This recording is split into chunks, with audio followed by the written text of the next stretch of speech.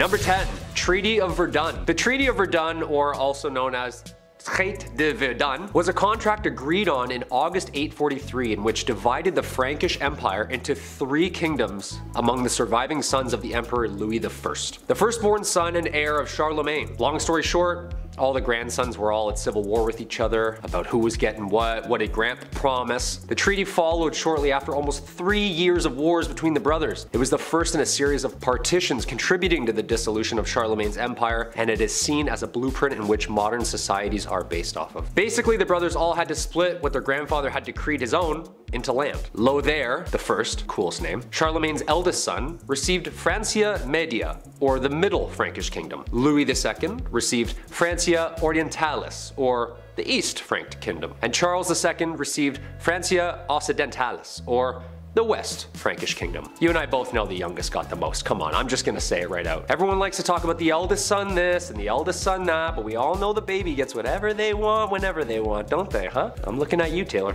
Come here, man. It's true, man. The baby gets everything. Middle child, this guy didn't even exist growing up. Didn't hear from him. Number nine, Underground Castle. Big Chet and I are currently replaying Ocarina of Time, so in honor of Hyrule, I gotta include this medieval castle. It was once a residence during the reign of King Henry III. This castle was actually discovered recently underneath a prison yard back in 2015. The old prison castle, we love those. Shawshank Redemption 2, Medieval Edition. Super recent discovery. Archaeologists discovered walls of a castle underneath the basketball court in southwest England at a former prison. Yeah, dudes were shooting threes over top a kingdom and they had no idea. How amazing is that? This was the same castle that played part in the mid 1100s during England's Civil War. The castle actually fell later in the 1400s and the prison was built on the grounds later in the 1700s until it closed its gates forever in 2013. And then we were shooting threes and then we discovered it, of course. If I was a ghost haunting these grounds, I would make every shot miss. Easily. I would just float near the net, tap the ball away. Like, nice try. Mm. Back to prison. Mm. Number 8. Stonemasonry. So we all know about who wrote what and who translated what to what text and which language while writing what play, which was based on who, but who built all this stuff? When we think of the Dark Ages, we can't forget the megalithic Leviathan stones carved and molded together to create the enormous Gothic castles and cathedrals that are still standing to this day. How did people do it back then? Well, masons in medieval England were responsible for building. Masons were highly skilled craftsmen, and their trade was primarily used in the building of castles, churches, and cathedrals. There were three main classes of stonemasons. There was the apprentice, the journeyman, and the master mason. So what would a medieval construction site exactly look like? Well, of course there's the master mason. He's usually the head and the overseer of the work, and he's the most skilled of the tradesmen. This is like the head honcho on site. We've all seen this guy walking around site. He's always angry, he's always yelling, hey, who's got the plans? You, give me those. What are these? Eh, backwards, you idiot. I would have put the window down there. So how did they exactly chisel out all of these castles from one giant rock? Well, mm, they didn't. The stone had to be quarried first from quarrymen. These were not masons. Their job was to get the stone for the masons to work on out of the ground. Local stone was used first, but occasionally stone could travel vast distances, even from other countries. So I gotta drag that boulder there all the way to Scotland? Okay, some of the most beautiful architecture ever created can be still seen across Europe. The amount of time and skill it took for these people to have designed, constructed, and chiseled such megalithic sites still baffles me. I'd be trying to read the plan still. Oh, I, that's north. I got the, I got it, we're good. At number 7, we have eating more than two courses. This one also has some logic to it, but still really makes no sense. In the Dark Ages, there were a lot of laws in place that determined what lower class townsfolk could and couldn't eat. This was put into place so the lower class couldn't resemble or live as lavishly as the upper class and royalty. It began in the mid 13th century and wasn't repealed until the mid 18th century. What the punishment was was unclear, and there are no documented punishments for the act, but it was heavily frowned upon. The details of the law were that a regular man could not eat an excessive amount of meats and dishes that nobles were eating. A man must be limited to two dishes with the exceptions for holidays like Christmas where they were were allowed to have three courses. Something else to note is that soup was considered a full course meal and not just a sauce. So if you were having soup, you had to choose your second course wisely. Thankfully, we don't have any laws like that today.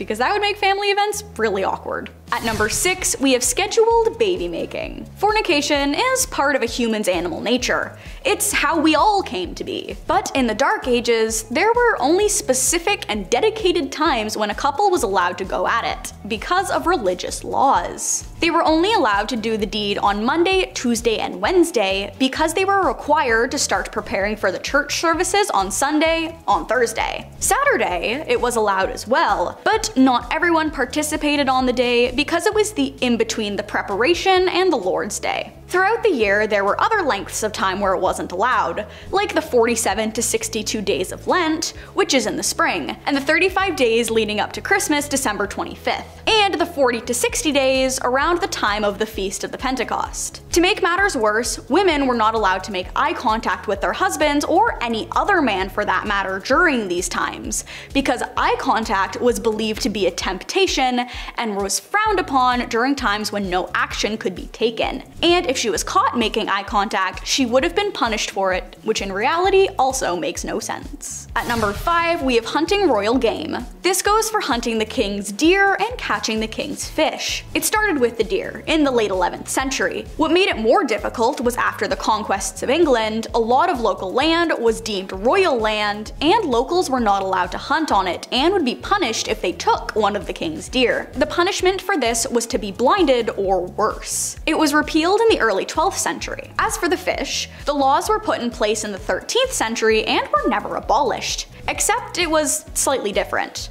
There was no set punishment for catching the whales and sturgeons, but if they were washed up on shore, they were to be offered to the monarchs first before the locals were allowed to have it. Nowadays, it makes no sense because many other laws in place override it. But in 2004, a Welsh fisherman caught a sturgeon and offered it to the queen. Just an interesting fun fact for you. At number 4, we have having your tongue removed. Some people like to spread rumors or talk trash behind others' backs, or even make up things for theatrical effect. Well, in the Dark Ages, you could have your tongue removed from your mouth for spreading misinformation or using the Lord's name in vain. The church viewed blasphemy as a very severe crime, considering the church ruled just about everything, alongside the monarchs at the time. So if you were caught spreading a belief that did not align with the church, you would be punished. So removing the tongue would leave the convict mute for the rest of their lives. Therefore, sufficing for the crimes. They would also be stoned or left in rope for the crimes depending on how long they were committing said blasphemy, as well as the context of the information. Just another example of medieval control tactics which in today's world make no sense. At number 3, we have what was deemed indecent dress. In the mid 14th century, wearing long and overly pointy shoes that were longer depending on your social status and could extend up to 5 inches off the foot, as well as eccentric and flamboyant tunics, were considered illegal for the lower class. How did this come to be? As the fashion trends began to become popular amongst peasants, the crown stepped in, saying they were no longer allowed to participate in the fashion trends. This was to preserve the rich and famous image, and how only the wealthy were allowed to wear such extravagant clothing. It was deemed that no townsfolk with a rank lower than a knight or a noble was allowed to wear shoes with spikes or a toe that extended more than 2 inches. And the same went for top clothing. No local was allowed to wear clothing that was deemed indecent and it had to cover most of them, whereas lords, nobles, and royalty were allowed to wear clothing that was far more revealing. It makes no sense because it was another excuse to separate people. Thankfully, it was repealed in the early 16th century and people were allowed to dress as they deemed necessary because putting a cap on a shoe length is just silly. At number 2, we have the amount that was punishable by offing. In the Dark Ages, just about any crime was severe enough that you could lose your life over it. It was also far harder for women because they had to be far more cautious about what they say, how they acted, and what they knew. There was a lot of women who were stoned or burned for having moles that were deemed too large to be human, or for having birthmarks that were immediately noticeable. They would also be offed for being able to read, being able to understand math, being old and having a cat, and simply existing because they were witches and they were the reason the entire town was down on their luck. And that's just women. Talking back to royalty was punishable by meeting the end, and a lot of their methods methods to get people to confess or regret their crimes led to meeting their very unfortunate demise. It was really unethical and doesn't really make much sense in the grand scheme of things. And last but not least at number 1, we have playing tennis and soccer was forbidden. Football, or soccer, was banned in the late 13th century because it was deemed to be too violent, considering fatalities while playing was a common occurrence. The games would get very aggressive and would often break out in fights as well, which while that aspect is similar to today's soccer, it was very different from the soccer slash football we know today. It was originally banned in England in order to keep the peace while Edward II was in Scotland. Then it was banned nationally towards the end of the 13th century. As an alternative, the locals were encouraged to practice archery, so they had some sort of method of defense when other countries would attempt to invade. If you were caught playing football, you spent six days in prison for the crime, but that would be the extent of the punishment. As for tennis, in the late 14th century, it became illegal for any man who wasn't a noble of some sort to play tennis because it was deemed a royal sport, and it encouraged gambling amongst lower class citizens and caused men to slack off their work which was a problem. The law was once again put in place to separate the lower class from the upper class, and the only exception to the law was Christmas, when regular people were allowed to play tennis with the nobles. Thankfully, both of these laws were repealed in the 18th century, and the sports were once again encouraged. Number 10. Naughty naughty. There's a reason we don't do things like we did in ye olde times. We didn't know, but now we do. So there's really no excuse for acting up. A very common practice for marriage back in the old times was to marry a girl at the age of 12. And in case you're wondering, no, the man was nowhere close to the same age. Yes, it's just as gross as you think. No, I'm not happy talking about it, but that's just the way things went. I can just imagine how happy those young ladies were when their parents came to them and said, listen, the lord across town fancies you and the dude's got the bag. So you're gonna marry him so mommy and daddy can get the bag too. That's just one example of the medieval business transaction. I mean, marriage marriage, marrying for love. Number 9. Pull up a chair. The people of my generation either struggle to phone the doctor to make an appointment because of crippling anxiety, or they flaunt it on OnlyFans. There's no in between. However, I still think most people would feel uncomfortable finalizing their marriage in front of a party of witnesses. I honestly cannot think of a more awkward situation. Do you cheer them on? Are, are there sports commentators talking about the moves? Are there snacks? You could be there for 30 seconds, or 10 minutes depending on who you're watching. It just seems like a lot of unpleasant viewing to walk out of a room later to then all agree that yes, yes indeed, that couple is married now. But hey, that's just how it went. Witnesses or family would watch you do what animals do on the Discovery Channel. Number 8. The Birth Factory. Soap and sanitation is one of the greatest things ever invented. Don't you just love taking a hot shower after a long day? Oh, I know I do. Hygiene was not the greatest back then, and while not the only factor, it did contribute to a high infant mortality rate. It was just one of the many factors. So, when young women were married, and married rather quickly, it was time to start pumping babies out. It's more of a quantity over quality kind of thing. Before marriage was declared a holy sacrament, these things were happening everywhere. Pubs, town squares, heck, even in your house. Now, for the people at home, can you tell me how you feel about the holy sanctity of marriage? Especially after you've been married for more than 10 years. Does it feel good? I bet it does. But what about the Voergaard Castle in Denmark? 100% in the northeastern Danish town, a grand castle with many windows displayed the work of Raphael, Goya, and El Greco to the public, but with its dark past also paints a horrible picture. The tale of Ingeborg Skeel, who was able to acquire the castle in 1578, drowned her own architect in the moat preventing him from designing and making another castle, as hers was the only one worth building. Because of this rash and vile decision making, Ingeborg's ghost is now spotted and felt haunting throughout the castle, all dressed in white because they always are dressed in white for some reason. Even if you don't think she's there, you might feel the hair at the back of your neck rise as you pass by the Rosidanten, the Voergaard's castle's infamous dungeon. The dungeon was designed so that an adult man could neither stand up straight or lie down. It was possibly purposely designed to have no holes for light or air to enter. The question is, why did Skeel ask the designer to have a dungeon in the castle in the first place, and what did she use it for? Sadly, when it comes to those who died an untimely death, it is all due to illnesses or natural causes like for Kate, the daughter of William Larnach, a prominent local politician in New Zealand. He had built the Larnach Castle between 1871 and in 1887 where he served as a resident. He built the castle as a birthday present for his daughter Kate for her 21st birthday, but unfortunately when she did turn 26 she died from typhoid fever. Her body may have left the world but her spirit had certainly lingered, as she loved the ballroom her father built and had imagined herself spinning with friends and suitors. And if you peek inside, you might actually see a girl dancing by herself. Or it could just be me, I don't know. She also has been rumored to tap you on the shoulder and whispering in your ear, shall we dance? When it comes to the dances of witches, it was very apparent in the Moosham Castle of Austria, as the Salzburg witch trials had echoed the region between 1675 and 1690. Moosham Castle had played a vital and unfitting role as a host to the many unjust executions, imprisonment, and the torment of hundreds and hundreds of both men and women all accused of witchcraft and paganism. Although the witch trials died out and like most humanity needed another scapegoat or trend, they discovered in the late 1800s so many deer and cattle within the castle proximity found dead and that the residents around were tried and killed for, can you guess? Being werewolves. Yeah. Today, visitors and staffs have reported hearing sounds of aggressive banging against the doors and walls, footprints that lead to closed off spaces, and sheets of white mist floating through the halls, and even someone breathing onto the nape of your neck.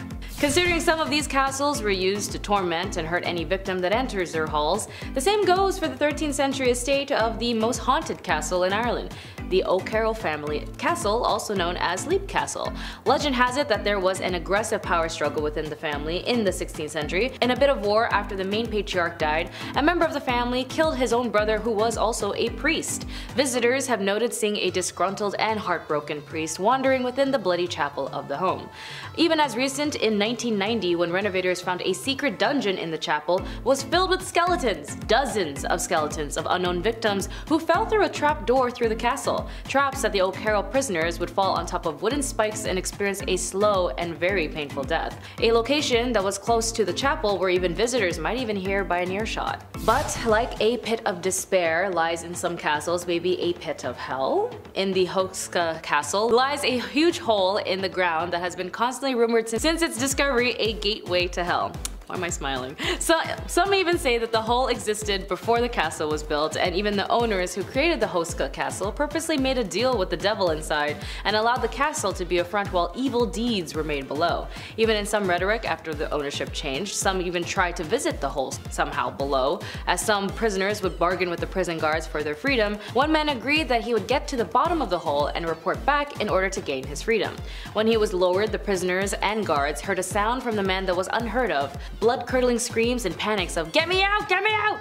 They pulled him back up to the surface only to see his face and body aged 30 years. All hair all white and face full of fear. Even with the fortress turned castles or castles turned into fortresses, there are no difference as the shady darkness that is lured within.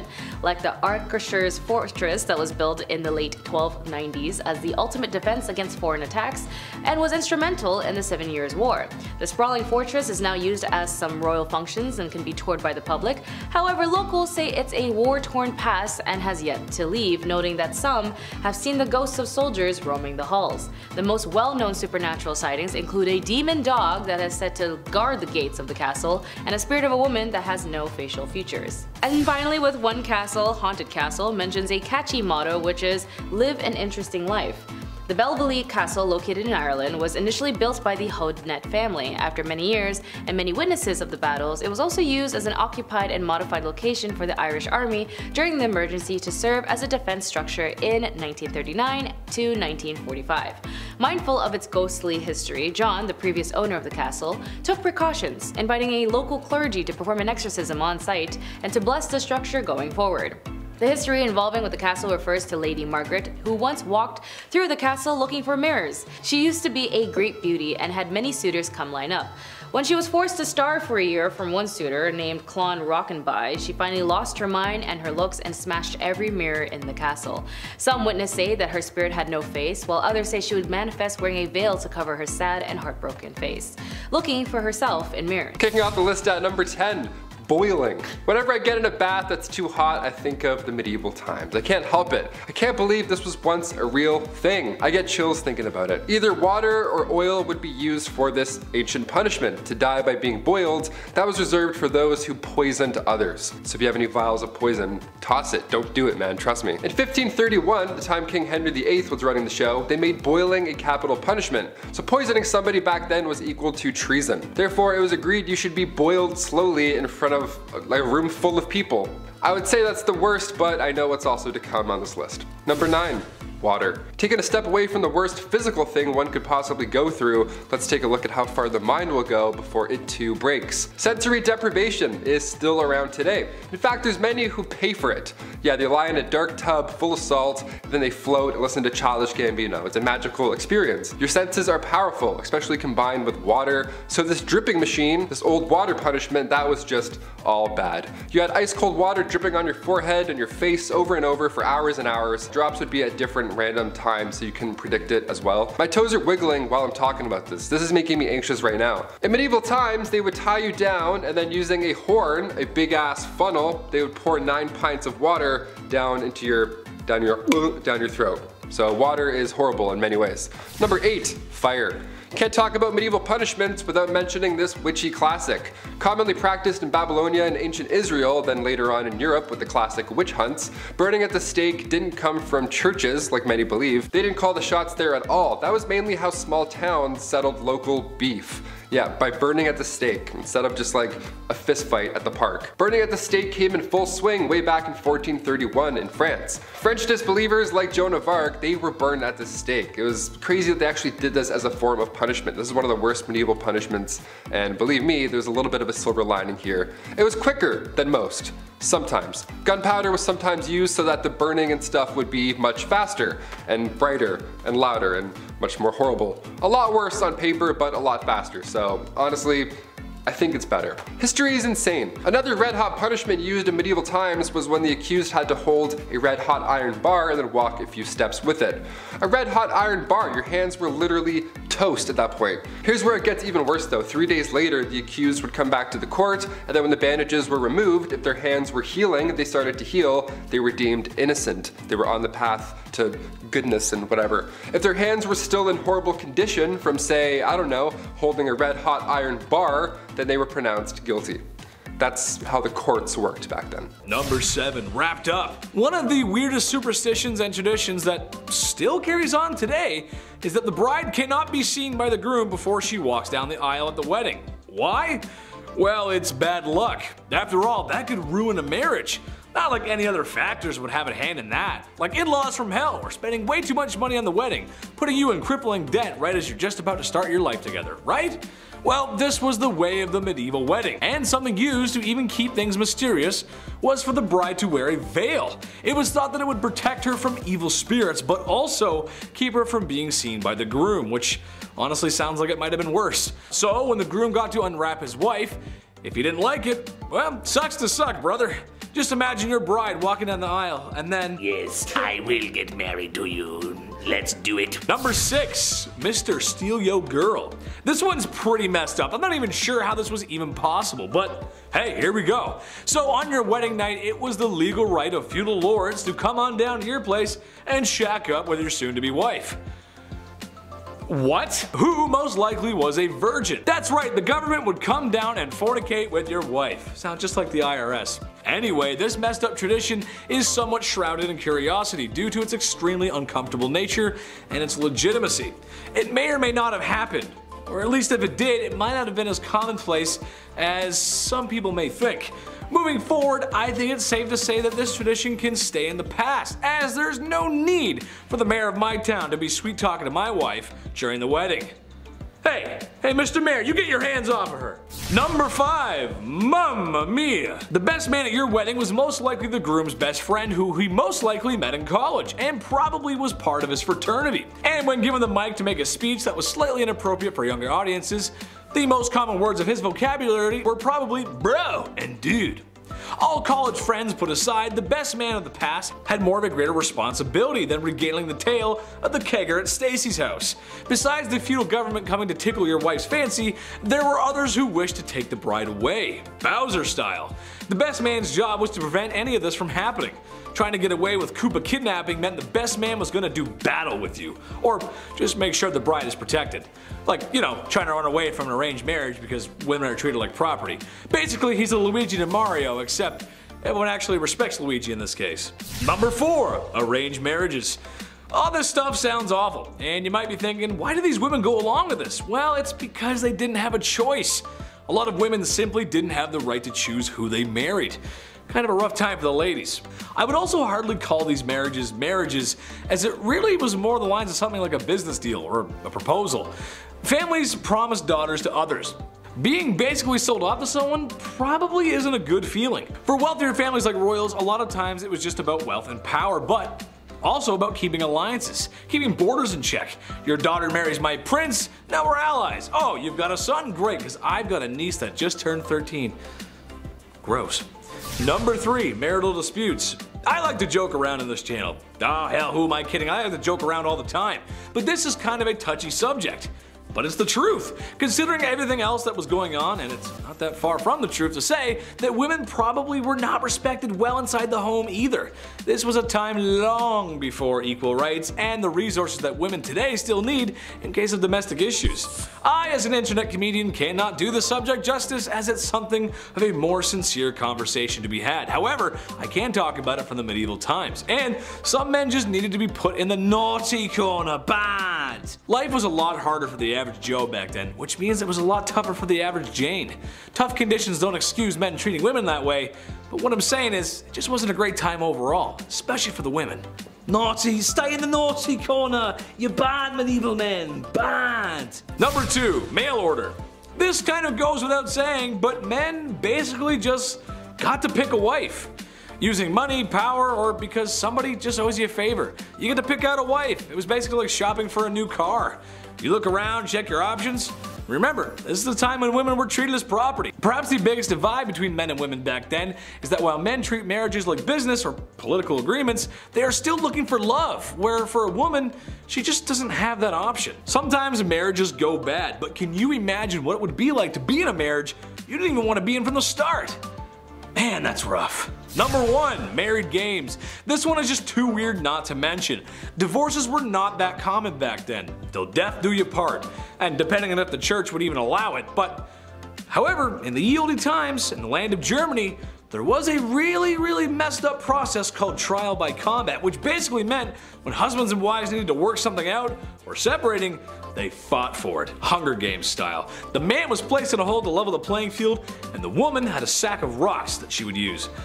Not that any married couple today would ever want to hit each other over the head with anything, right? Come on, that's no, you guys you guys love each other. And when this display of happy matrimony was finished and a winner was declared, the other had their light snuffed out. In a nutshell, the only way to divorce or remarry was if your spouse ceased to exist. So, here's some weapons to deal with it. Go ahead, here you go. Crazy. Number 10, property. It should be no surprise to anyone watching this today, but women's rights and the treatment of women was not everyone's priority in the medieval ages. Dudes were just mean. I'm sorry. Where did it all stem from? I'm not sure. I'm just a guy with blue eyes, and sometimes I say funny stuff. But what I do know is that women were treated more like men's property, which is that's that's that sucks. That's gross. No one likes that. Which they are not, thank you very much. Sometimes women were traded, like currency, for livestock animals, land, and just business dealings in general because women didn't have a say in the matter. Like, I'll give you two goats for my daughter. Here you go, dude. Which is just that's not a fair deal, dude. That's that's not a trade, man. Not a trade. Number nine, promising young woman. Remember when I said if I talk about medieval times, I was gonna bring this up? It's a classic, a medieval staple. Couldn't couldn't talk about medieval times without it, really. What am I getting at? Well, that's marrying a woman in her midlife, about about 12 years old. Yeah, I know, it's gross, deplorable, despicable, naughty, and just unsavory. Okay, so people only lived to their mid 30s and 40s back then, so time is of the essence. Sure, I get it, but Come on, man. I am hereby banning any cradle robbing or diaper sniping. That includes the dudes who out of high school and they're dating a woman still in high school. I'm banning it, that's it. Chetty says no. Number 8, Bedroom Watch Party. Okay, let me paint the scene for you. It's 2009. You just finished pre-drinking and watching the latest episode of Jersey Shore with your friends. There's enough hair product in your hair to keep a bowl of lime jello still. You slap on some Uggs and head to the club. You meet someone who's cute AF. Maybe it's the tequila, maybe it's the apple bottom jeans, but you want to come home with this person. Instead of making it to your bedroom, a bathroom nightclub is now your domain for love. People walk by and witness your actions but you do not care because this is your life and it's 2009 and you can do whatever you want. Okay, so that, but medieval times. Yeah, it's not a nightclub, but people would just come into your bedroom to witness that you went through with it on the marriage. Nobody wants that. That's just weird. That's not normal. Come on in. Me and my wife are about to. Come on in. Number 7. The Rack. On to something not so hot and fast, but rather dull and slow, the rack is surprisingly well known. It was originally introduced to the Tower of London around 1420. The Duke of Exeter referred to this device as his daughter. What a weirdo. It's like guys who call their car like she. It's like, okay, just a little bit too close to your automobile, man. Relax. It was an open bed frame type device where your ankles were tied at the bottom and your hands were tied at the top. Already we're off to a horrible start. It was horizontal as well and sometimes it was up. It was it was all bad. It would just leave you hanging by these ropes and these ropes were slowly tightened more and more, obviously causing some problems to muscles and joints that were, you know, holding things in place. This was done to extract information. This is also one of the worst things I've heard. Even getting tickled like this would be horrible. I couldn't even imagine. I make jokes because I'm uncomfortable. Honestly, hit that thumbs up to spread some good vibes because we're not even halfway done, folks. Number six, molten metal. This was another form of capital punishment, and if you've seen Game of Thrones, it'll ring a familiar bell. A few of these do, actually. Yikes. Metal would be heated up in a cauldron for a long, long time to the point where it was liquid, it was molten metal, just a soup of minerals. Look, we said this video wasn't for the faint-hearted, and here at Bumblebee, we like to keep that promise. They would then pour the molten metal on your head, or more commonly known, this would they pour it down the throat of the accused. Obviously, it wasn't done as a method to extract information, it was done to brutally end someone's life. Because they're not talking after that, of course. Execution by molten metal was supposedly done to a wealthy Roman general, Marcus Licinius Crassus, back in ancient times. The metal would burn your muscles and skin, literally cooking it, and then after a few moments, it would harden. Bad, bad, not good. Number 5 keel hauling. Not to be confused with Kegels, keel hauling was reserved for the worst of the worst at sea. This was used by pirates for sailors who disobeyed orders and all that jazz. The victim would be suspended by a rope with rocks or weights around their ankles, then they're lowered to the keel of the ship where all the sharp barnacles live. After so long, these ships are so old, it's just piled on layers and layers of barnacles. Then they would get dragged all along them with the water and everything. Water plus pain, it's a lot, it's a deadly combination. Anything to do with barnacles in the sea, no chance. I'll literally tell you anything, Blackbeard. Anything. Number four, solitary confinement. This is a kind of punishment that still exists in our modern society, but it can truly be one of the worst punishments out there because of the type of psychological distress that it causes. We were all just in a pandemic for so long. We got so bored and we had Netflix and iPads and i whatevers. I can't even imagine this back in the day. Basically, it's a prisoner living in a single cell with little to no contact with anybody else. Not even like a guard or anything rattling keys like in the old times. It was just nothing. No one would even check on them. There are many stories about people being locked up for so long they forget about their families and some people have gone away to solitary confinement for so long that once they're out, they just forget how to speak, really. They forget how to be a human and interact in the real world. Solitary confinement and the negative effects that it has on a person is becoming a wider topic of conversation because of the effects on a person's mental well-being, and it's a topic for a lot of human rights organizations. Back in medieval times, solitary confinement was literally just a room made of stones. It was pitch black, freezing cold, you were tucked away below some janky castle, and most of the time you weren't really alone. In the dark, nibbling your little piggies were, number three, rats. Another Game of Thrones classic. If you're a rat person, I know there's a lot of people who do tricks with their pet rat. That's cool, but maybe cover Stuart Little's eyes for this one. Rats as a medieval punishment, where do I even start? Okay, this one was a punishment for the rats at the same time. What was once called a rat trap involved a man or woman being tied down to something and then a metal enclosure would be strapped down to their chest or their stomach. Now inside this metal enclosure there's rats which are also just loose walking around and the person can feel them, the little feet walking around in their skin. And this is when the person and still in the punishment begins heating the other end of the metal enclosure. Historically it was hot coals that were usually placed on top, or there's a fire underneath, which quickly creates a hot environment for the rats inside. From there, the rats begin frantically searching for a way out, but because it's made of metal and they can't bite through that, they find your skin, and then that they can obviously bite through. So you can paint the picture in your head. It's disgusting. Number two, the breaking wheel. The breaking wheel is literally just a large disc, a pirate ship wheel almost, just lying there, where somebody is then tied to it, and everybody else just hammers them and beats the out of them over and over. But of course, since we're talking about medieval times, everything has to be a show and whatnot, so once the accused was beaten and then presumed dead, the wheel would lift up and turn just to show everybody what's up. Another way to use the breaking wheel, yep, there was more than one, again, creative folks back then, they would tie a person to the wheel and then continue to rotate it and then all the ropes below would get tighter and tighter and twist. Kind of like the rack, but with a literal twist. And finally coming in at number one, the brazen bull. This one takes the rat's problem and then makes it a you problem.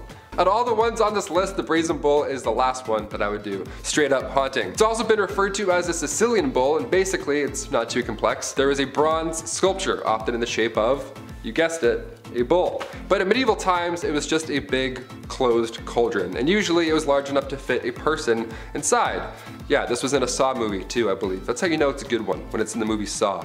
So once the person was locked inside or it was leaned over so they couldn't get out, a fire would then be set underneath this bull, and then you can probably figure out the rest in your head. They would even engineer the bull so that when somebody screamed, it sounded like a bull's roar. How fun is that? How fun is history? I'm learning so much about history that's fun on Bumblebee. Number 10, Gucci to the socks. Mansa Musa may be the richest human to have ever walked planet Earth. The ninth emperor of the Mali Empire made his massive fortune by exploiting his country's salt and gold production. It is estimated his wealth today would be worth 400 billion dollars US. That is a lot of money.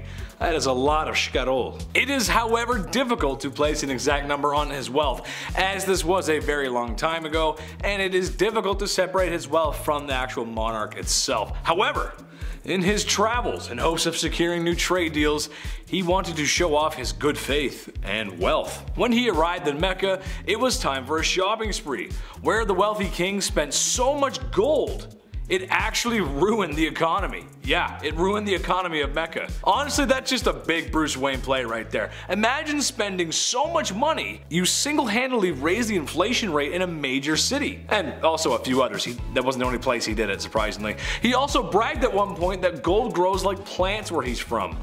Where I'm from, it's super cold and there's lots of snow. We aren't selling snow yet, right? Number 9. Bad Vlad. Vlad the Impaler is Vlad the Impaler. Okay, sure, he wasn't the wealthiest king ever and his empire wasn't that big. But listen, I called the chief last night and he said he ain't it.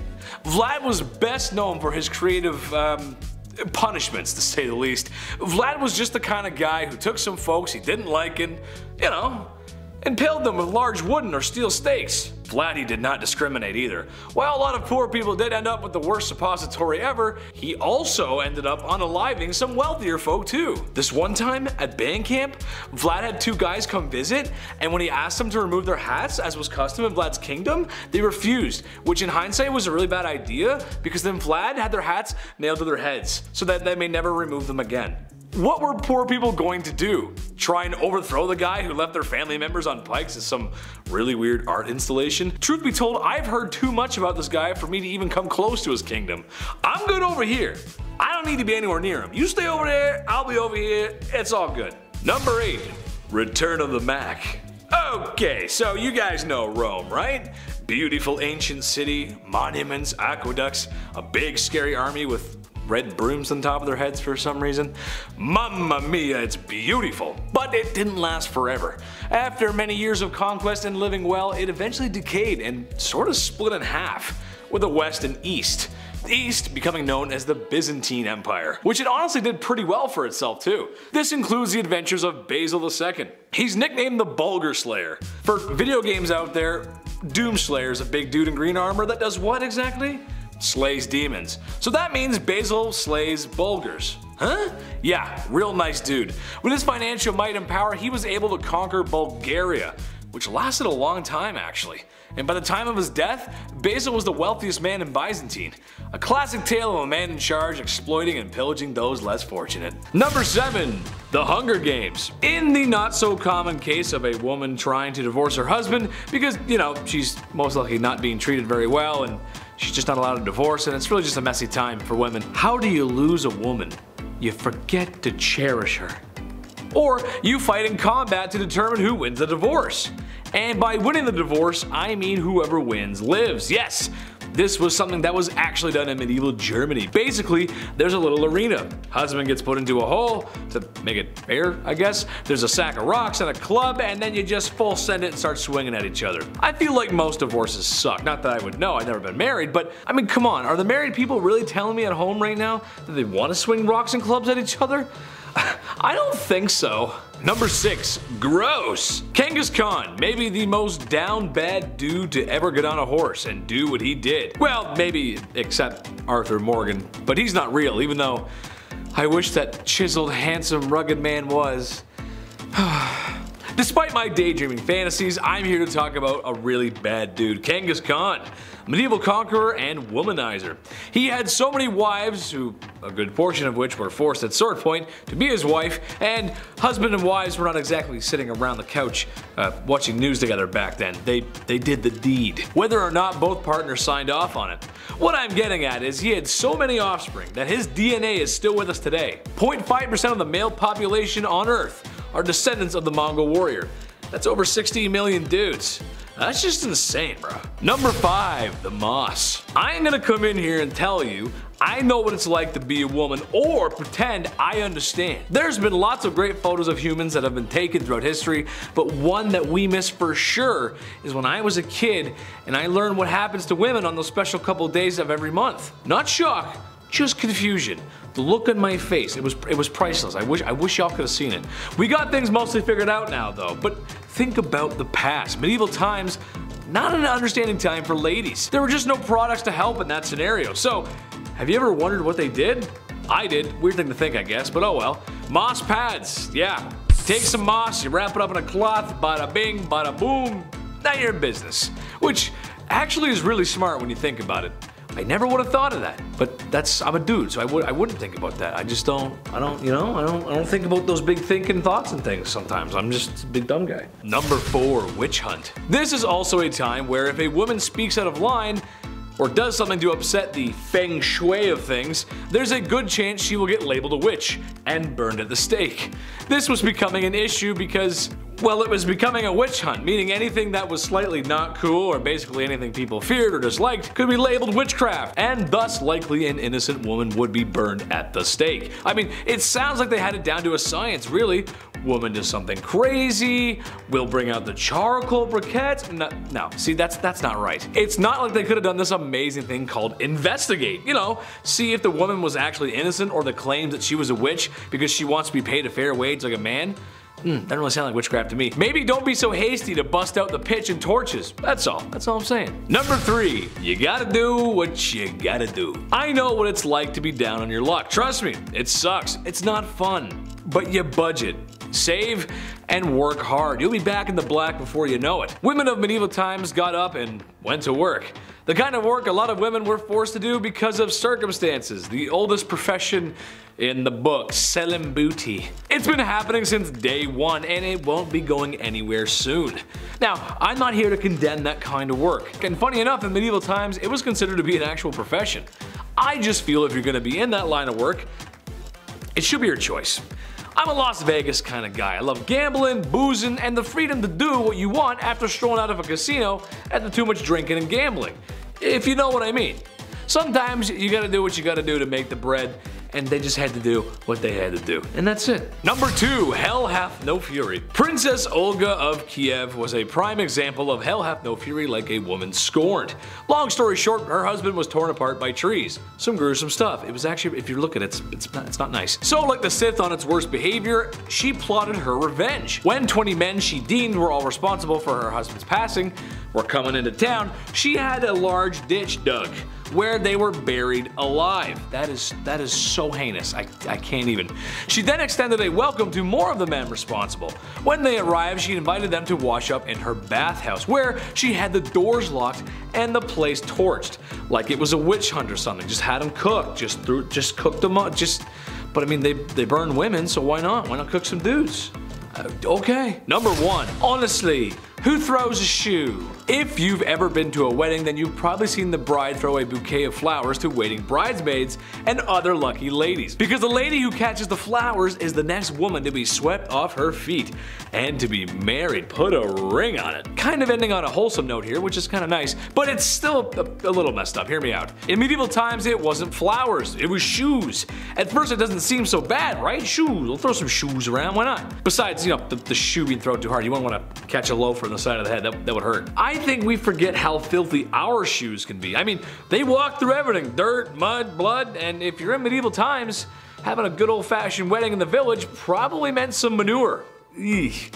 I'm all about tradition, but maybe we could throw the flowers instead. They just smell better, and you know, there's just there's less poop. Number 10, beauty sleep. When you go to bed at night, ideally you want eight hours. Me, personally, I'm lucky if I get like six. I don't know, I'm like a child. I'm restless at night. I'm kicking around, I'm making weird noises. It's insane, it's problematic. Maybe I should see someone. If this were medieval times, however, I'd be set. See, back in the dark ages, it was common to have two four hour naps at night rather than one swift eight hour slumber. See, many believe this was to tend to a fire, or hopefully not a fire. You know, gotta wake up, make sure things aren't gone. It's medieval times, it was rough. You wake up, throw a log on, yawn, and then hop back into your pile of hay. I don't know, whatever they had back then. Good times. This system of waking up after four hours, it sounds like an unhealthy inconvenience, but in reality, historical accounts suggest that people in the dark ages generally generally slept for longer periods of time, despite their sleep being interrupted by periods of wakefulness. They slept longer due to the fact that, you know, light bulbs didn't exist yet, so lava lamps weren't a thing, neither were alarm clocks. So people would often go to bed shortly after sunset and wake up with the sunrise, so that's a good rest. That's a good medieval rest. That's like 12 hours. Number nine, the Norse disappearance. I just watched The Northman. I'm gonna start barking at people now when I'm on the subway, just to, you know, get my old roots back, my old Norse roots. There are several theories regarding the disappearance of the Norse. Norse from Greenland during the Dark Ages, right? Where did they go? Where does a Norse Viking go? That's a little concerning. Where'd that guy go with the beard and the hatchet? That's a little important. One theory suggests that climate change played a significant role. The Little Ice Age, which began around the 14th century, that led to a decrease in temperature and a shorter growing season. Of course, making it difficult for the Norse to farm and raise livestock and, you know, have that big mighty beard and eat good. This could have resulted in a decline in food production, leading to famine and ultimately the collapse of Norse settlement. Another theory suggests that the North run the North, the Norse, the north of the North. Another theory suggests that the Norse were unable to adapt to the harsh conditions of Greenland. The Norse were used to living in more temperate climates, and the extreme conditions of Greenland could have been too difficult for them to endure. They're a little too hot for comfort. Finally, there's a theory that the Norse were driven out by the Inuit who had been migrating into Greenland around the same time as the North. So a little bit of a beef happened there, a little West Side story with Vikings, if I may. The Inuit were skilled hunters and fishers, and their presence could have put pressure on the North settlement, ergo war. But it's likely that the combination of these factors contributed to the disappearance of the North altogether, so exact reason, that's uh, still a mystery. I vote the Inuit though. There's probably some beef. There's probably some settlement beef. Number eight, Green Children of Woolpit. Now this one, this is a medieval story that tells the tale of two children who randomly appeared in the village of Woolpit in England, but they showed up with green skin and they spoke an unknown language. So aliens confirmed, for sure aliens. I wouldn't even open that door. The children were taken in by a nice local landowner, and although they were initially very distressed and refused to eat any human foods, they eventually adapted to their new surroundings. Again, green children, didn't speak English, aliens. Reminder. The boy eventually learned to speak English over time and he explained that he and his sister came from a land where the sun does not shine and everything was green. Yeah, it's like Avatar 3 going on. Something's going on out there. Sometimes the grass is greener on the other side, but sometimes the people are also green. That's fun. That's a fun little bit. Bunch of incredible hulks in a place where there's no sun. Sounds nice and warm and welcoming. Lovely. Let's find out more. The origins of the story, of course, remain a mystery with various interpretations ranging from folklore to my personal favorite, extraterrestrial encounters. Love aliens, love that. Grew up watching signs. You tell me in the comments, did this happen? Are these aliens? Were these just random children? Children? Is this all bullshit? Who knows? Number 7. Off with his belly. King Henry VIII was a guy known for a few shady things. Removing your wife's head because you want a new wife isn't exactly the nicest way to go about divorce. I could think of some nasty other stuff too. I know what the I'm saying. I think what was rather more interesting, however, was the king's diet and the quality of life divide between royalty and peasants especially compared to the average person at the time. Sure, he was the king, but the list of foods and menus that were available to him were crazy, even by today's standards, almost rivaling the wealthy of today. His banquets would often include pork, chicken, fish, goose, beef, fruit, bread, and desserts galore. Extravagant desserts with beautiful designs. And of course, you gotta have some wine to wash that all down with which funny enough might have made them healthier to drink wine since water purification at the time wasn't so great. It is said he was consuming way more than the average person's calorie intake. Also, not to mention his food was fresh, or as fresh as it could be for the time. And if it wasn't, it was seasoned and preserved with very expensive spices from the far reaches of the globe. Spices that no normal person can get their hands on. The average person may not have been starving, but the quality of food and lack of fresh proteins show you what the almighty gold coin can do. Could someone please pass me the turkey? Number 6. The Cowardly Lion Richard I was the King of England for a decent amount of time, but didn't spend a lot of time of it in England. He spent most of his time raising taxes so he could fund his international warmongering. After all, that's kind of what history is about. History doesn't usually remember the times we were super friendly and got along. Which brings us to the Crusades! After recapturing Acre in 1191, his enemy Saladin was considering options of what to do next, and also considering uh, prisoner swaps, which actually was common for the time. Sadly, Saladin may have been taken too long, or may have been planning a re-retake of the city, because Richard had waited too long. Not sure what Saladin was up to, he took prisoners from Acre who were poor civilians and soldiers up onto a nearby hill in full view of Saladin and slaughtered 3,000 people. He's remembered for being Richard the Lionheart for his bravery. All I'm saying is that it's not very brave to kill innocent poor civilians. War's hell, I guess. Number 5. Nothing is true. Everything is permitted. The Medici family didn't exactly live around the medieval times, but fairly close. That being said, the family is something similar to the Kardashians of today. No, not a hit reality show based around wealthy women who sit around their mansion all day looking for a good verbal argument. No, but rather a well-known family who had extreme wealth and as time went on gained a lot more wealth and power. The Medici got their wealth by being successful bankers. And when you got money, you got power. And they owned a lot of property and had clients in multiple cities. Some family members would later become royalty like Catherine de' Medici, and even more powerful by some family members becoming next to the Lord himself as the Pope. Which, if you're into that sort of thing, you would know how serious that position really is. What I'm getting at is, you don't get that powerful without breaking a few eggs. They used money and power to manipulate and they got their way. Number 4. Diaper Sniper. Alright, this one's messed up, but that's just how things were. Marriage is a beautiful matrimony between two loving people that has a harmonious, lasting lifetime. Tell that to people in divorce court and see where that gets you. While we may marry for love today, things were a little bit different back in ye olde times. Marriage was oftentimes a business opportunity or a peace treaty of sorts, and other versions of marriage would have you on a certain Dateline show with Chris Hansen. I'm talking about girls getting married at the old refined age of 12.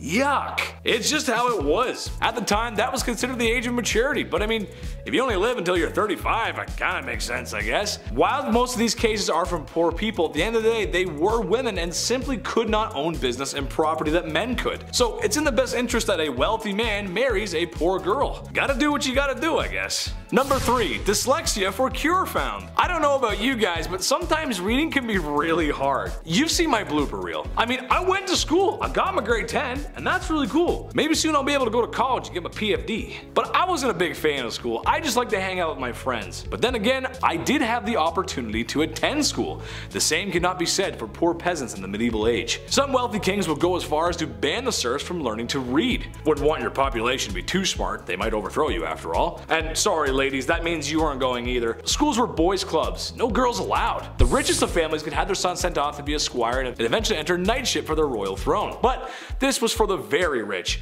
I can't help but think that I would look good in all that metal armor though. Give me a sword, a shield, noble steed. Assuming the wealthy would let me go to school. Please sir, could I learn to read? Number 2. Do you require a bowel movement, sir? Kings will be kings, and sometimes they do some things that shouldn't be things. Meet the royal groom of the stool, a man who must follow the king around with a ye olde porta potty, or really just a bowl, where he would be ready to assist the royal in a release of his bowels. Originally created by King Henry VIII, the groom's job was to assist the king with a box to relieve himself, also carrying towels and water, even monitoring the outcome of such daily events. After all, he's the king, gotta keep tabs on his diet. It's also rumored that the kings may have even required assistance in hygiene after the fact. Which, I mean, come on, I know we all need help sometimes, but that's a tad much. With all the disease and not hand washing at the time, I'm not really sure anyone ate food ever again. Ooh. Number 1. Dead end job. Wiping a royal bum is tough, but cleaving a man's head from his body kinda sucks too. The rich uphold the law and that means when it's time for the death penalty, somebody's gotta do it. Somebody with less money and somebody who might not have a choice as professional unalivers at the time often were handed down the blood-soaked acts of their kin. On one hand, you have law and order that is respected. On the other hand, you have a profession that sees law and order through, but is not that well respected. Makes sense that the job kinda sucks though. Unalivers often had to practice their skills and eventually work their way up to the real McCoy. Practicing on pumpkins, animals, and eventually criminals.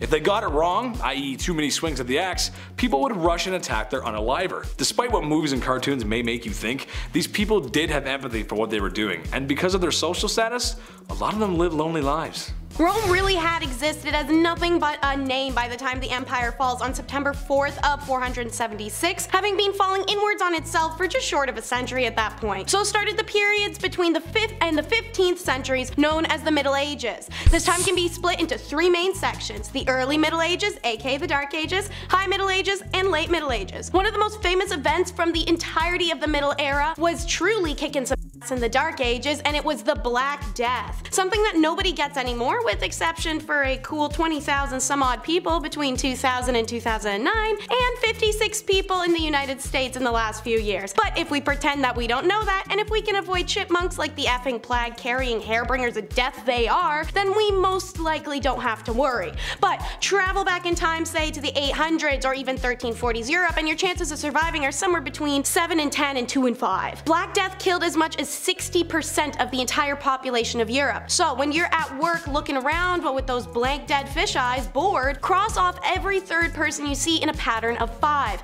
and try to figure out how many of them are gone and who you'd manage without. Probably now being in a position to go, hey boss, looks like you need new middle management team and ain't since nobody left, hooray, promotion. That's exactly what happened in the Middle Ages too. After half the world died, kinda changed the balance of power. Suddenly peasants could ask for pay raises and improvements in working conditions and life got a little better for them. This was further developed by the evolution of feudalism, and as a result the first banks and widespread money supply appeared for the first time in Europe. RIP freedom, hello capitalism. And speaking of the workforce, how about their dirty jobs? Knight, tosher, rat catcher, oh my, there's no shortage of terrible jobs in the dark ages. So let's cover a few. So a leech collector was a woman's role. She was often living in the countryside near marshes and bogs, just generally dirty open water spots where she could strip her legs bare, grab a bucket and wade into the mud, waiting for leeches to sucker themselves on. At that point she could scrape the buggers off, bucket them, and then sell them in town to physicians, the wealthy people, beauty stores, whatever. Enjoy the scabs and infectious diseases. The groom of the stool was a position for the royal household who was in charge of cleaning the king's badunkadunk, making sure it was clean and dry post his kingly, well, dumps. Tanning leather seems like it would just be hard. Don't worry, on top of stripping animal skin of its fur, soaking it and consequently yourself in lots of lime and salt, it also involved animal feces. See, you'd hire this other guy who somehow had a worse job than you, he's called a pure collector. He'd collect you dog poop, you'd grab it with your bare hands and mush it into leather to treat it. And don't get started on lime burners or treadmill operators, which was essentially a 50-50 death sentence job. And usually whatever job you ended up with was one for life, because chances are you stay in one place. Many people dream of traveling, my generation especially is one that's opting out of children in order to do so. This isn't new, and the human desire to travel and learn is something inherent, coming with curiosity and the need to discover. But this wasn't one of those times. Written records show that a sizable proportion of people not only didn't travel to other countries, they never even left their region or the village they were born in. Even if you did manage to travel, it wasn't planes and annoying but passable airport waits. The average traveler would often sleep out in the open air. Inns or other forms of accommodation were few and far between, and usually too expensive for the typical person to afford. So aside from the super fun chance of freezing to death overnight, travelers in the Middle Ages also had to worry about being robbed or attacked on the road. Many people therefore chose to travel in groups, but even then you weren't entirely safe. Your homies could turn on you at any second. Consider also that roads and pathways were rough, and this was a ridiculous era where even spraining an ankle could prove to be fatal. Then there's finally bridges, which are quite rare, especially outside of big cities, so you might have to cross rivers manually, and while they could memorize and recite Latin every day, these dummies couldn't swim. Drowning was all too commonplace, even the Holy Roman Emperor Frederick I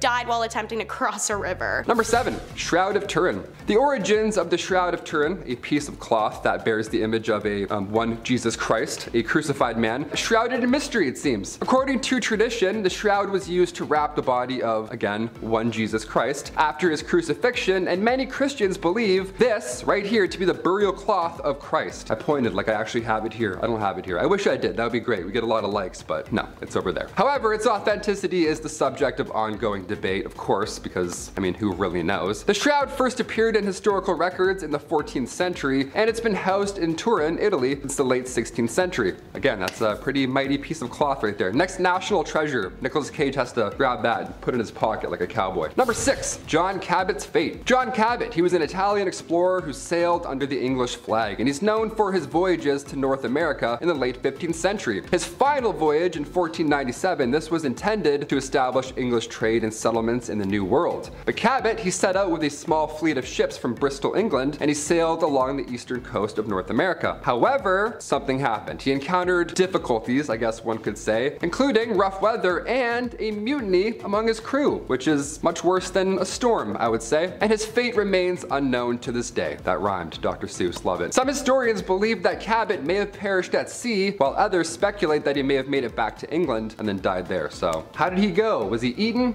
Who knows? Who really knows? Number five, the plague. Yes, we just lived through one of these. That's in the, Uh, isn't that neat? Can't wait to tell my kids about that one. Plagues are everywhere throughout history. Some are short, some are impossibly incredibly long. The bubonic plague arrived to medieval England in 1348. Now the death toll here, it was devastating. I mean, we put up some crazy numbers in the last few years, don't get me wrong, but in the dark ages, the bubonic plague took out almost half of England's population. That's insane. They didn't even have Uber back then. You're like, how? How did that happen? Back then, the plague was a bacterium now known as Yersinia pestis. Symptoms were jarring, to say the least. There were lumps in the armpits and or, um, you know, groin area, not fun. Black spots would appear all over your body. It was uncomfortable and it was noticeable, definitely to say the least, that you were plagued out. Almost all that were infected died within three days, more often than not without a fever, just randomly, boom, done. The drop in the population resulted in a widespread of wealth. That's, uh, I guess, a bright side, not really. Workers were demanding higher wages, farmers were demanding lower rents, and the poor got expendable income. Sounds a little familiar, dare I say. Number four, Greek fire. One's absolutely crazy. Greek fire was a weapon used in medieval times. It was particularly used by the Byzantine Empire and it was known for its ability to burn even when submerged in water. Yeah, almost like magic, some would say. Some scary, hot magic. The composition of Greek fire was a closely guarded secret, but it was known to be a highly flammable liquid that could be projected from tubes onto enemy ships or soldiers. So yeah, they would just blast liquid lava at you. And then they're like, yeah, war's done, just like that. Like in Game of Thrones where it's just green fire. It was kind of like that. Greek fire was often used in naval battles and set enemy ships ablaze in four minutes or less, and its use was a significant factor in the success of the Byzantine navy. The exact ingredients and recipe for Greek fire, like I said, they have been lost to history, and its composition remains a subject of debate and speculation among historians. Let's hope we don't find this one. I don't know, let's find some pharaohs, mummies, tombs, treasures, that's great. Some guy's like, oh, the recipe for liquid lava that we can shoot at people. Awesome, let's do it.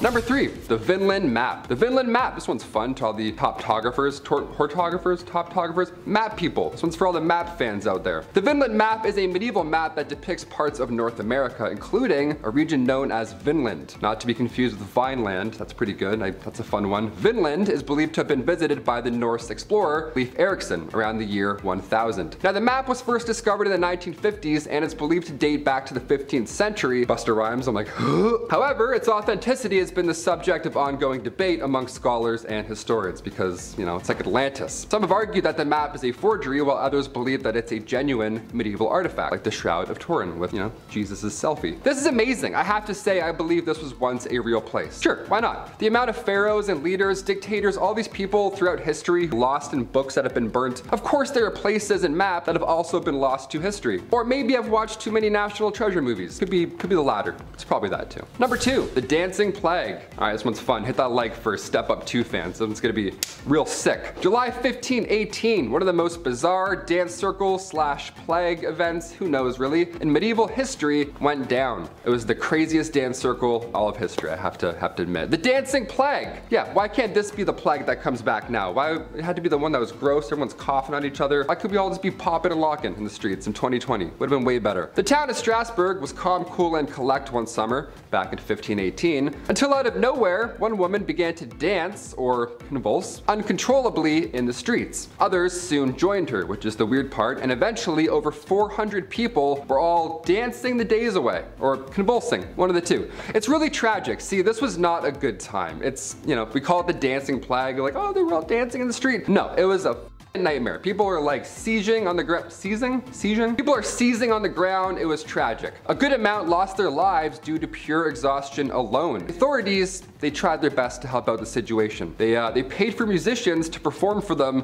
while they convulsed, which is just the thing you need back then. They're like, oh my God, what's happening? Quick. They just played music. They're like, this makes it way better. This is so fun now. No, it was horrible. Everyone was sick. This was a disease. This happened a few times in Europe, believe it or not, between the 14th and 17th centuries, and we still don't know what exactly happened. All we know is that it was some sort of illness and that it was not like Step Up 2. Apparently it was not sick, nor 3D, nothing like that. And finally, number one, no insults. This one here is great. This would change the game today. If we brought this one back, so good. I can't whistle, but It'd be like that. If you hurled insults at somebody back in medieval times, they were entitled to compensation and they could summon everyone else who's around at the time to be a witness. Yeah, if you spoke bad of someone during the Viking Age, even if the person wasn't there, it could ruin their reputation. And because of that fact, you now need to pay them for the possible damages you caused with your words, with your sick, nasty words. It doesn't even matter if the insult was true either. The reputation was how you gained employment back then, how you met friends, and it was really important. It was an important thing not to be messed with. Also, if you insulted one man, apparently you insulted his entire family as well. So it's like that Vin Diesel kind of Fast and Furious families everything vibe where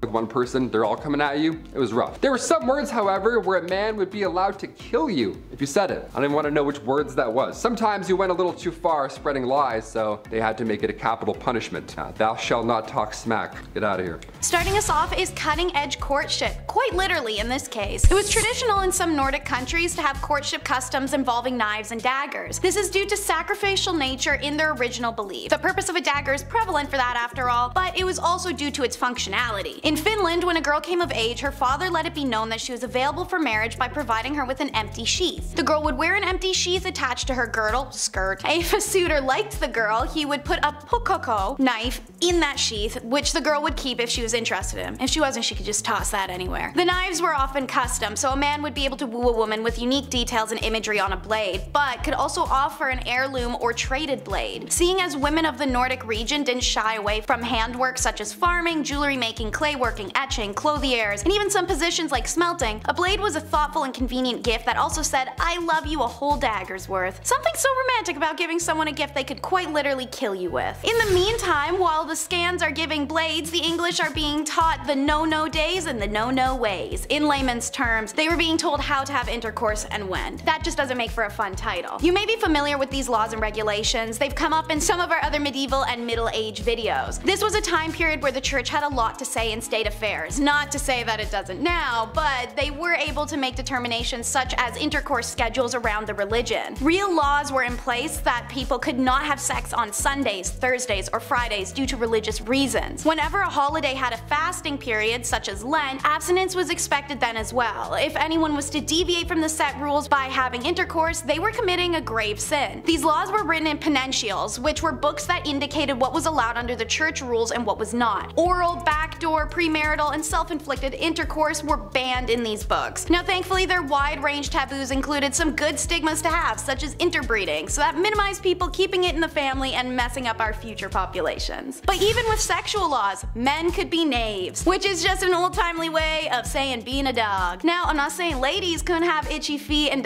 dog their way around too, we do it now and we've been doing it then, but it was a lot worse for ladies to be caught back then. So the general consensus is that it was rare and when it did happen it was usually affairs outside of a marriage. In general, young medieval daters had to be cautious, while peasant marriages were a little more than saying we're married most of the time. Reputation, especially for a lady, was huge as was virginal status. Men of higher status often sought out beautiful peasant girls for affairs. Sometimes they benefited the woman greatly and she'd become an heir to a status child, thus elevating her own. But for the most part, it was pure carnal enjoyment men were after, in a time when women were told to do the opposite. And so it became a game of men trying to win a single woman into doing the act. She had everything on the line while he usually had nothing. Secret flings were frowned upon to say the least, and were often seen as a sign of potential trouble, hence the English ballad that would warn of knaves preying on young fair maidens at country fairs. A young woman caught having affairs was a wild scandal that could even be punished for or put to death, so making the decision to bow to a lord's or even a common man's pressure could quite literally destroy a woman's whole life and being. Yet it's still a decision women made. Ah, hormones. So if you're gonna live in one region, one city, and one house your whole life, naturally it would be a dingy shack. Because peasants' homes were small, often just made up of one room. They were constructed of wattle and daub, a type of method of constructing walls, in which vertical wooden stakes, or wattles, are woven with horizontal twigs and branches, and then daubed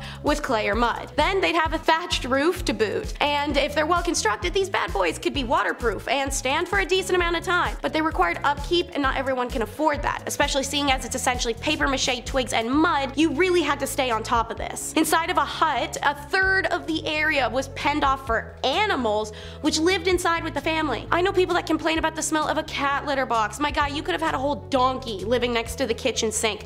Chickens, cows, pigs. Then, to really complement the mildew smell of rotting roof and the stink of sweat and feces covered animals, a fire burned in the hearth in the center of the hut so that the air was permanently eye-wateringly smoky. Furniture was maybe a couple stools, a trunk and bedding, and a few cooking pots. Beds were a thing, but they weren't very great. And don't forget a couple of dirty chamber pots kicking around the room.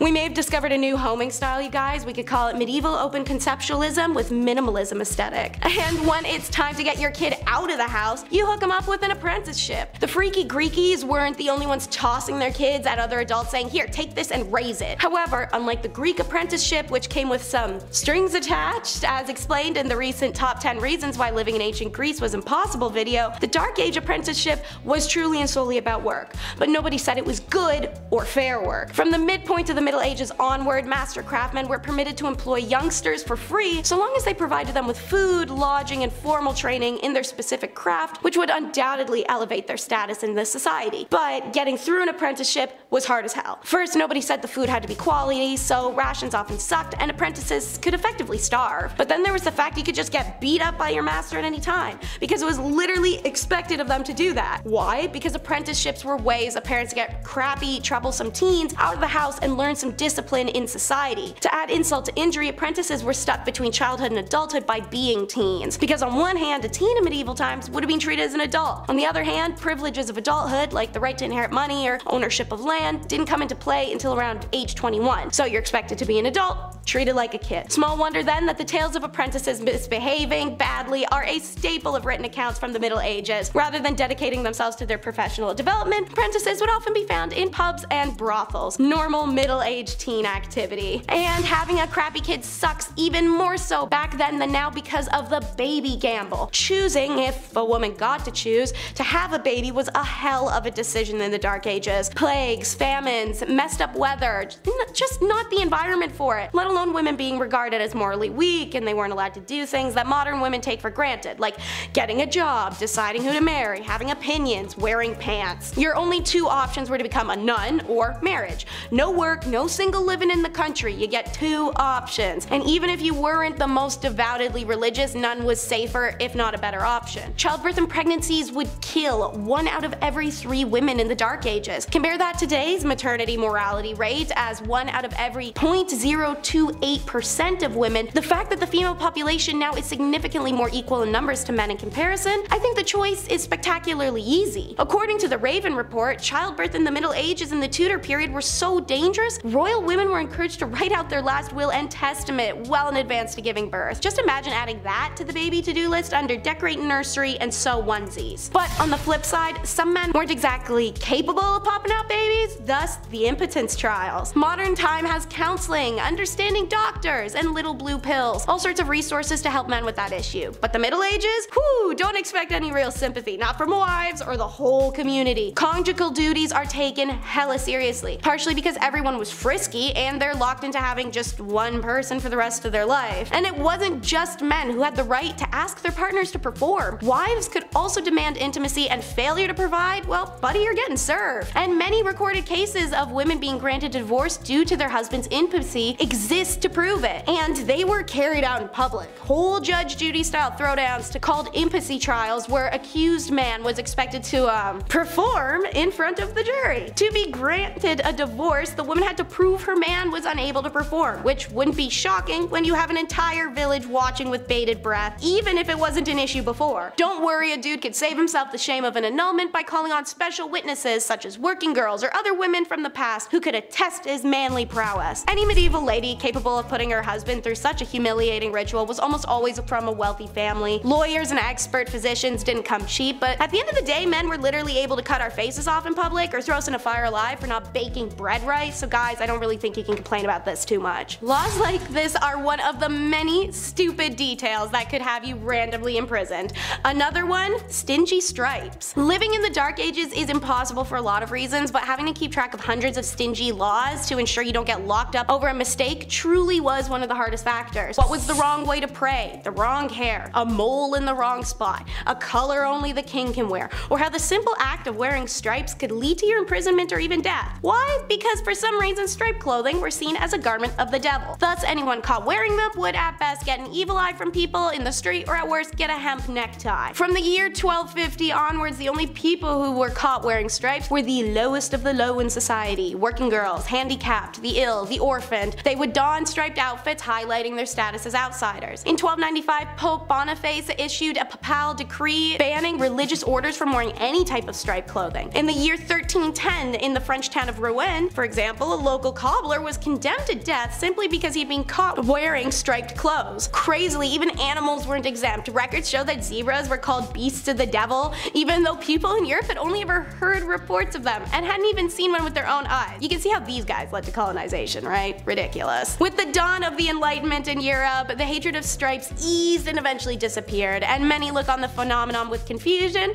and understandably so. Time for the Shrek references. It's ogres and pitchforks. More specifically, just the pitchforks, and less specifically, really just the farm tools in general. You guys know in the movies like Shrek when the villagers all come carrying pitchforks and farm tools and of all things, like why that and not swords? First of all, swords are heavy and who has that kicking around? Seriously. Secondly, noblemen could require all male peasants over the age of 18 to report for military service. Didn't matter if it was a justified war against a viable external threat or just a petty fight against a local rival. If you are called up for duty, you had to report. According to histories of the time, around 1 in 5 peasant men would be in a military service. Food and clean water were in short supply, and disease was rife. Some historians reckon two thirds of all conscripted men who died were killed by unsanitary conditions of their own camps over any enemy action. But peasants were required to bring their own weapons. Moreover, they would rarely receive anything more than rudimentary training, so they're sent to war unprepared and ill-equipped. Thus the thought process, well if this tool works on my farm, for this, it'll work for that. So, uh, what really sucked about military service in medieval times is how little was in for it for you. These days, joining the military can be a way of learning a trade or generally improving your lot in life. Not so back then. Feudal lords were fearful of their peasants getting too powerful, so you're once a farmer, you're staying one. If a peasant soldier got too skillful on the field of battle, there were several cases of them ending up mysteriously dead. It's like getting a Journalist of the Year award from the CIA. And finally, it wasn't just living that was impossible, but death sucked too. Alright, so evidently, whether from this video, others, or general universal knowledge, Dark Ages was pretty grim reality to live in. It's short, dirty, desolate, and brutal. But when it wasn't short, it was somehow worse. See, anyone over the age of 50, which was a crazy age achievement at the time, was deemed elderly. Unlike other cultures existing at the time, elderly in Europe are not even close to revered or respected. You didn't get to retire, having to pay your own way and continuing to work until physically you simply couldn't. Then, yeah, after that, you're really just a burden. Your own kids are side-eyeing you and everyone's asking you why haven't you haven't died yet. What's the big hold up here, guys? For many, death was the only real chance to escape from everyday hardships or working the fields and trying to get enough money and food to survive. And when that finally happens and you pass through and rejoin the energies of our earth, you will finally find your peace. Yeah, no, psych, that still didn't happen. According to some research in Europe during the Middle Ages, massive 40% of graves were disturbed. Now, this wasn't like grave robbing during the Enlightenment. There were no university medical schools paying good money for fresh corpses to study. Rather, most cases of grave disturbances were run-of-the-mill theft. Often people would be buried with a small selection of their possessions, perhaps a favorite cup, a locket, a stuffed animal toy, or other such trinkets. In tough times, even some dead person's mystery grave junk might be enough to tempt a broke thief to dig someone up. However, this wasn't always the case. There's some even weirder crap too. Archaeologists in England have found evidence to suggest that in dozens upon dozens of quote grave robbing cases, rather than looking for objects, those responsible bound and gagged the dead bodies and then left them like that. It seems like they're fearful of restless souls, or perhaps of the undead rising again. Who knows, they had a lot of problems back then. At number 10, watching consummation. Back in medieval times, depending on the century, weddings either meant a lot or meant nothing at all. If it was the early medieval age, then no one really gave a hoot about marriage, and I'll get to that later. But later, in the medieval age, marriage became a holy sacrament, and this sacrament had to be consummated. On the night of the couple's wedding, they would do the good old brown chicken, brown cow, boom boom pow, OMG wow, which could have been a positive or negative experience depending on circumstance, but it was also a little weird because there would be people watching it all happen. That's right guys, after the ceremony and reception, people would follow the bride and groom up to the bedroom and be like, hey Joe, grab the popcorn, we're watching the live showing of Fifty Shades of Grey. And Joe would be like, yo bet, and then that's exactly how it happened. Anyways, this was all done so that there were witnesses to the consummation, so that the marriage's validity could be backed up. So if anyone tried to deny that their marriage was legit, Joe with the popcorn would be able to back up the bride and groom and confirm that everything happened. Kinda kinky, kinda weird. Number 9, dowries. Today's weddings are so insanely expensive. I don't know if it's ever gonna happen for me for that reason alone. But, uh, you know, they kind of replaced the dowry altogether. But what was a dowry? It was a set of assets, money, material, goods, real estate that would be given to the groom once the couple united. The purpose of the dowry was to entice a groom to marry the bride if he wasn't already attracted to her. A kind of, we will pay you to marry our daughter kind of vibes. But it also acts as a kind of insurance for the bride. Should the marriage end in divorce, the husband is expected to pay it back. So yes, there were indeed take backsies if things got really bad. Though considering divorce and annulments were rare and the money really never belonged to her, not the best rule to live by, but the groom would also pay something called the bride price or bride wealth. The groom was expected to pay a sum either in assets or money to secure a lady's hand in marriage. This implied security for the bride and their family. But yes, in both accounts, technically, a bride could be bought and sold for whatever price the family slash groom deemed appropriate, so really just a marriage pawn. On number 8, shotgun wedding. Marriage and weddings back in the medieval ages were practiced very differently compared to today. Back then, people started getting married and having kids very, very young. Usually, girls would be married off as soon as they hit puberty, so around the age of 12, and they would start popping out as many spawn as possible because the high infant mortality rate made it very difficult to grow a family. On top of the duty to further the population, these marriages weren't for love. Arranged marriages were the norm back then because it was mostly used to join families for status or alliances, or because your dad owed Billy from down the block a favor and he offered you to his son Billy Jr. Marriage ceremonies were also very different back then. Because marriage wasn't as big of a fuss as it is now, it didn't matter where you got married or how soon. You could get engaged in the morning and be married by lunchtime if you really wanted to. Most people didn't need permission to get married so they could hold the ceremony anywhere. Marriage ceremonies could be held in places like pubs, in the middle of the street, or even in bed. Because of this, it made it really hard to know who was married and to whom until the 12th century when it was declared a holy sacrament that must be observed by God. Yet when it comes to marriage, it's always love versus politics. Medieval marriages tended to be negotiations, particularly around dowry, but it wasn't all about money. It was very important that a noblewoman is a virgin at marriage purely out of pragmatic reasons. Marriage, after all, was an alliance union of two families that required healthy and admirable legitimate children to be truly locked in. It's for this reason as well as the violent men in society that the church's laws stated that the degree of pressure to encourage a marriage could not sway a constant man or woman, aka no forced consent. What was forced however was up to debate, so don't be too proud of them for having that law in place. A woman was able to call off her marriage up until it occurred for this reason, as was a man. Should this occur, dowry was either returned in full or only partially as a fee for the failed union. Alongside this was the courtly love direction romance and marriage began to take in the middle mid ages, during a Shakespearean and theatrical influence. Marriage started to become idealized. We'll circle back to how this affected people later, but lower classes consistently did marry for love, since there's little to be gained materially from marrying for them. For most part, there was no official ceremony, that social level marriage was more like, hey, we're married now and living together. By 1400 AD, there were actually many laws decreeing marriages needed to start becoming a public affair,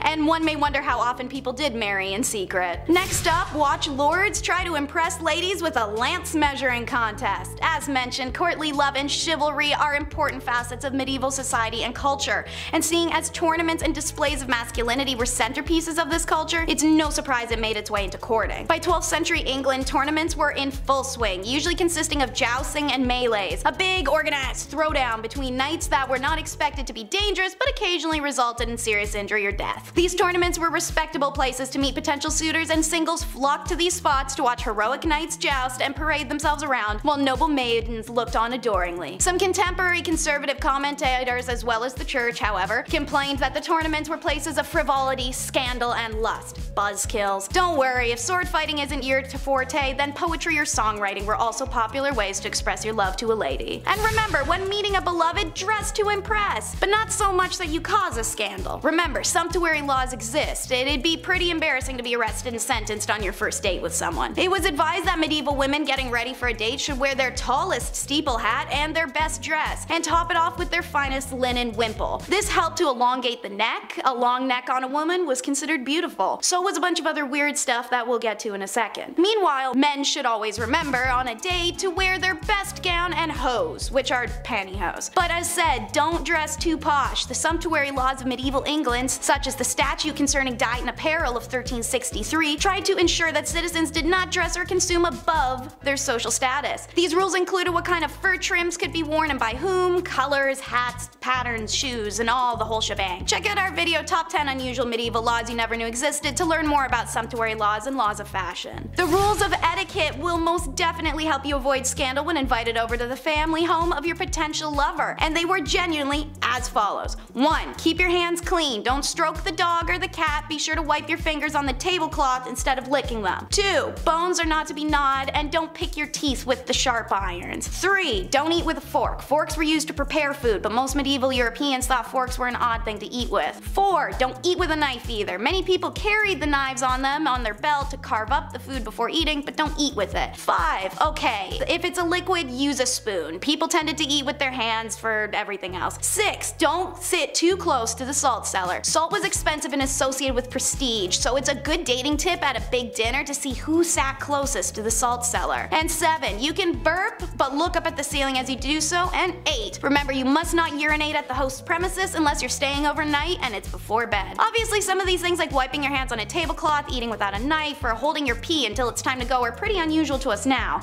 But back in the Middle Ages, if you wanted that shorty and not to ruin your reputation, well, you're burping at the ceiling, bro. I hope she's worth it. Next up is how love makes you crazy. This is a fascinating wormhole to travel down, and I learned from several journal articles that lovers in the Middle Ages had a real tendency to go mad. I mean, we all know the examples. Elaine, the fair maid of Astolat pining away, Romeo and Juliet taking their lives, and the raving madness of Ophelia. But these are just dramatizations, right? We tend to regard accounts of love madness in medieval literature as evidence that they overestimated the strength of erotic passion. In classical and early medieval periods, sexual love was regarded as carnal appetite to be controlled. But with the rise of poetry sentiment and the theater came courtly love, which was seen as a highly spiritual desire. The idea of courtly love had more to do with the concept of loving rather than pleasure. This idealized kind of love was based on a secret union where two lovers could only love from far away. These sorts of unattainable relationships were increasingly romanticized, but in medieval society the notion that erotic love could drive people mad may not be so unrealistic. We understand now that mental illnesses are sometimes provoked by the stress between the individual and their social environment. Think of the pressure a woman had to marry.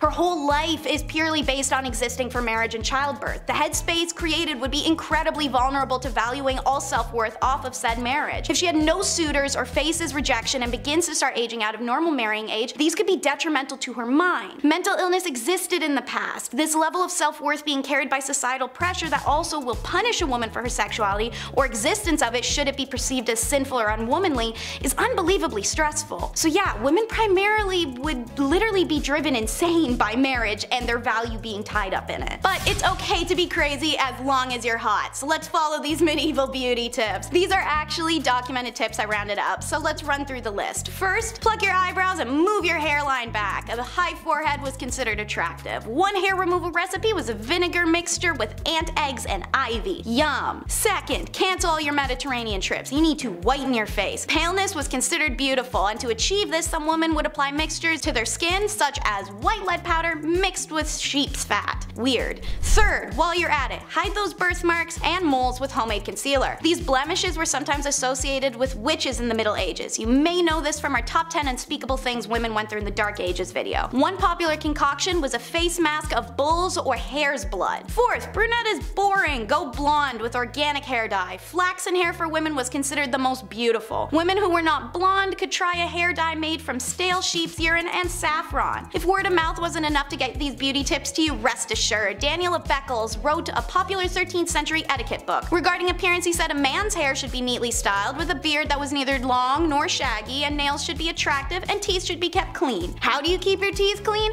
One recipe for teeth cleaning in the Middle Ages was to mix sage leaves with salt, roll into balls, bake them into a powder, and then rub them on the teeth. Sage advice indeed. And if you do not want to be a scandalous unmarried spinster, you better listen to it. And last but not least, don't forget to bring the hemlock. Whether you're two dirty knaves trying to get down lawlessly, or a married couple who didn't want kids, hemlock was your best friend. So yes, while the medieval church made it clear that sex outside and for some clerics inside of marriage was sinful, the literary and documentary evidence suggests that these medieval Brits were still finding ways to be as randy as rabbits without an illegitimacy scandal. It was hemlock, a recommendation made by 13th century author Peter of Spain in his book Treasure of the Poor. Peter wrote men should rub boiled paste of hemlock on their boys before intercourse. Seeing as hemlock is poisonous, this was ballsy. Obviously they were open to whatever suggestions they could get. When Persian physician Abba BMZ Razi's works was translated, Europeans gobbled up his suggestions, which was applying cedar oil onto the nether regions before intercourse for a man or after for the woman. He also said that if the woman jumps backwards after intercourse, the uh, stuff will fall out. Seeing intercourse before marriage itself was illegal and knavery was perceived the way it was, I'm sure I don't need to explain the scandal in this one. Kicking off the list at number 10, an arming squire. Being a knight. Okay, obviously this sounds cool on paper. They have the sword, they have the horse, the flowing lady, the gal on the back of said horse. They're saving the damsel in distress or something, right? Sometimes they lose a hand like Jaime Lannister, but that's just what being a knight is all about, right? Also, spoiler alert, if you haven't seen Game of Thrones nine years ago. It wasn't always a fairy tale epic being a knight. First of all, this process starts when you're seven years old as well. So you would be given to a noble to learn for seven years, and then at age 14, you became A squire. Ah, yes, a noble squire. We've heard this term before. What do they do? Uh, well, it's it's a knight's intern. Yeah, not an ideal job to have when you're young, but it's a job nonetheless. Also, you had no choice, so you you had to do it. Welcome to the Middle Ages. Arming squires, they had a lot of responsibility. Arming squires would repair a knight's armor while they were still wearing it. Yeah, how fun is that? Oh, which buckle was it? Ah, yes, that one. Mm. Yeah, fixing up chainmail on a grown man's thigh. Not ideal. Welcome to the Dark Ages. Pretty dark. Also, after these epic, messy battles, arming squires would have to clean everything off of their armor. Yeah, everything. A lot of yuck going on in that business day. This was long before Dawn soap was also a thing, so they had to clean with urine. Yeah, gross. So gross. It gets worse and worse. Welcome to the Dark Ages. Number 9. Plague Bearer. Yep, this one's as awful as it sounds. The title of this one really gives it away. Ah, the hot summer of July 1665. What to do with all of these poor souls who have been hit by the plague in the Dark Ages? Where do we put them? What do we do? You can't just hide them all in the catacombs this time around. So now what? Well, a plague bearer, he's got your back. Church wardens would organize burials, right? This was a normal thing even back in the Dark Ages in the 1600s, but when the plague hit, they had to change things up a little bit. If somebody had the plague, these guys would be responsible for transporting them far far away and then burying them. A church would house these plagued souls away from society. How grim is that? But it's probably a great call, all things considered. Poor guy. Number 8. A Knight. When we think of the knights and, you know, the dark ages and stuff, we often forget about the silly royal duties that one had to attend to. Yeah, you thought jury duty sucked. Oh boy. Beastly justice. You ever heard of this? If not, buckle in. Beastly justice was when animals had to go to court. Yeah, they were put on trial as well as well as humans. It's wild to look back at a knight and all the things they had to do for their kings and queens, but the fact they also had to wake up early and attend court like a noble, like royal court where a wild animal was now taking the stand. Like what a joke. I'd be like, really? Do I have to be here? I woke up at 4.30. What's going on? Yeah, this would happen after an animal runs through town. It would attack people, you know, being confused and being an animal and all. But the townsfolk would actually believe that the devil was somehow involved in this whole ordeal. Like these animals worked for Big Red himself, right? How weird is that? In 1457, villagers in France had to deal with six pigs who ran wild and attacked locals. They did a lot of damage apparently. But instead of just, you know, setting the animals free or putting them down or whatever, they just took them to court. A real court, like a real trial. There was a judge, a couple prosecutors, eight witnesses, a defense attorney for the pigs, which I gotta say that we gotta do a list on that. That's a terrible job. That's one of the worst jobs ever, I, I lightly introduced here. These pigs were then hung from a gallows tree. It was so horrible. The Dark Ages. Dark, right? A knight had to formally hang pigs after a trial was concluded. Yeah, being a knight sucked. Number 7. No objections. So obviously, with a lot of people marrying willy-nilly, a lot of marriages mostly made people miserable. Maybe. Enemies to lovers is my favorite book trope, so who knows how spicy things actually got. I hate you, I love you, next day, I don't know. But the famous line, speak now or forever hold your peace, only got introduced in 1215 to try and flesh out drama before they couldn't go back. In the Middle Ages, drama, discovered after marriage vows were exchanged, caused major problems since divorce wasn't easy or, you know, accepted. Maybe we'll get to that later. For instance, Joan of Kent, who was known for marrying Edward the Black Prince and mothering Richard II, had a secret marriage when she was 12 years old. She didn't get approved. In her early teens, she was married to an aristocrat, but the secret marriage was discovered after 8 years. The papal court had to overturn it and return her to her knight. He died 11 years later and it was after that that her cousin Edward married her. Wouldn't it have been nice to know that little detail before she married the aristocrat guy? Yeah, probably would have saved a lot of heartbreak. Hence why the speak now or forever hold your peace was introduced. At number 6, Shoes! Back in the days of old, shoes were apparently a huge staple in society. They were pointy and weird and expensive and complicated and were even integrated into marriage practices. During the wedding ceremony, it was a tradition for the father of the bride to take one of the bride's shoes and give it to the groom. The groom would then tap the bride on the head with the shoe in a token of his authority. But the shoe traditions don't stop at bopping people on the head like little bunny foo foo. You know how these days there's a tradition of throwing the bouquet at weddings, and apparently whoever catches matches it is the next to get married. Well, that tradition sort of came from the medieval tradition of throwing shoes at weddings. Instead of throwing flowers, brides would throw shoes at their bridesmaids to determine who was next to walk down the aisle. Now this whole bride throwing things idea has failed me before because I caught a bouquet once and I'm as single as ever, so maybe someone needs to chuck a shoe at me or something this time please. Number five, the bedroom trial. So divorce, again, wasn't a thing. On the upside of dying early, it potentially meant that you weren't locked in a marriage for too long. If the marriage did end, it wasn't a divorce, it was an annulment, which was very expensive. A common reason this happened was due to consanguinity, which was close relations by blood or marriage, which was forbidden. Other grounds would be adultery, leprosy, and impotency. Also failure to concede to the marriage debt, which was the obligation for both spouses to engage sexually. It actually didn't matter where this happened happened, you had to do it even if it was in a church. It was a big deal. Enter the bedroom trial. Court cases from the 14th century show records that bedroom trials took place that would determine whether a marriage should continue. The bedroom part is exactly as it sounds. The man and the woman were placed in a bed together and were to be watched by the wise women for several nights. If over the course of the night the man's member remains of no use, i.e. impotence, then it was determined that the marriage should end. But the wise women were most likely either complete strangers strangers or the groom's grandmother. So I doubt that would have helped with the getting it up part.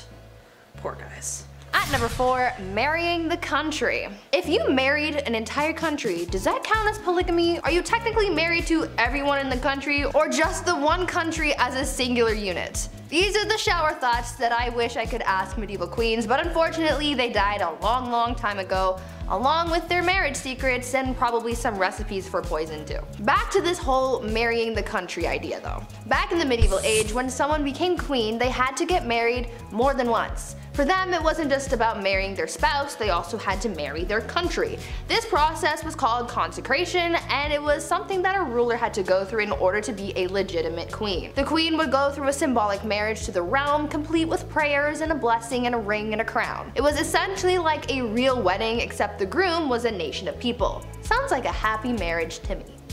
Yeah. Number three, the veil. As we have determined so far in our list, love wasn't the primary reason for marriage, especially for nobles, so as a result there were quite a significant amount of arranged marriages. Besides the symbolism of humility and purity, it was also used as a way of disguising the bride entirely. The bride would often be wrapped from head to toe to protect her from evil spirits. This tradition goes all the way back to ancient Roman times.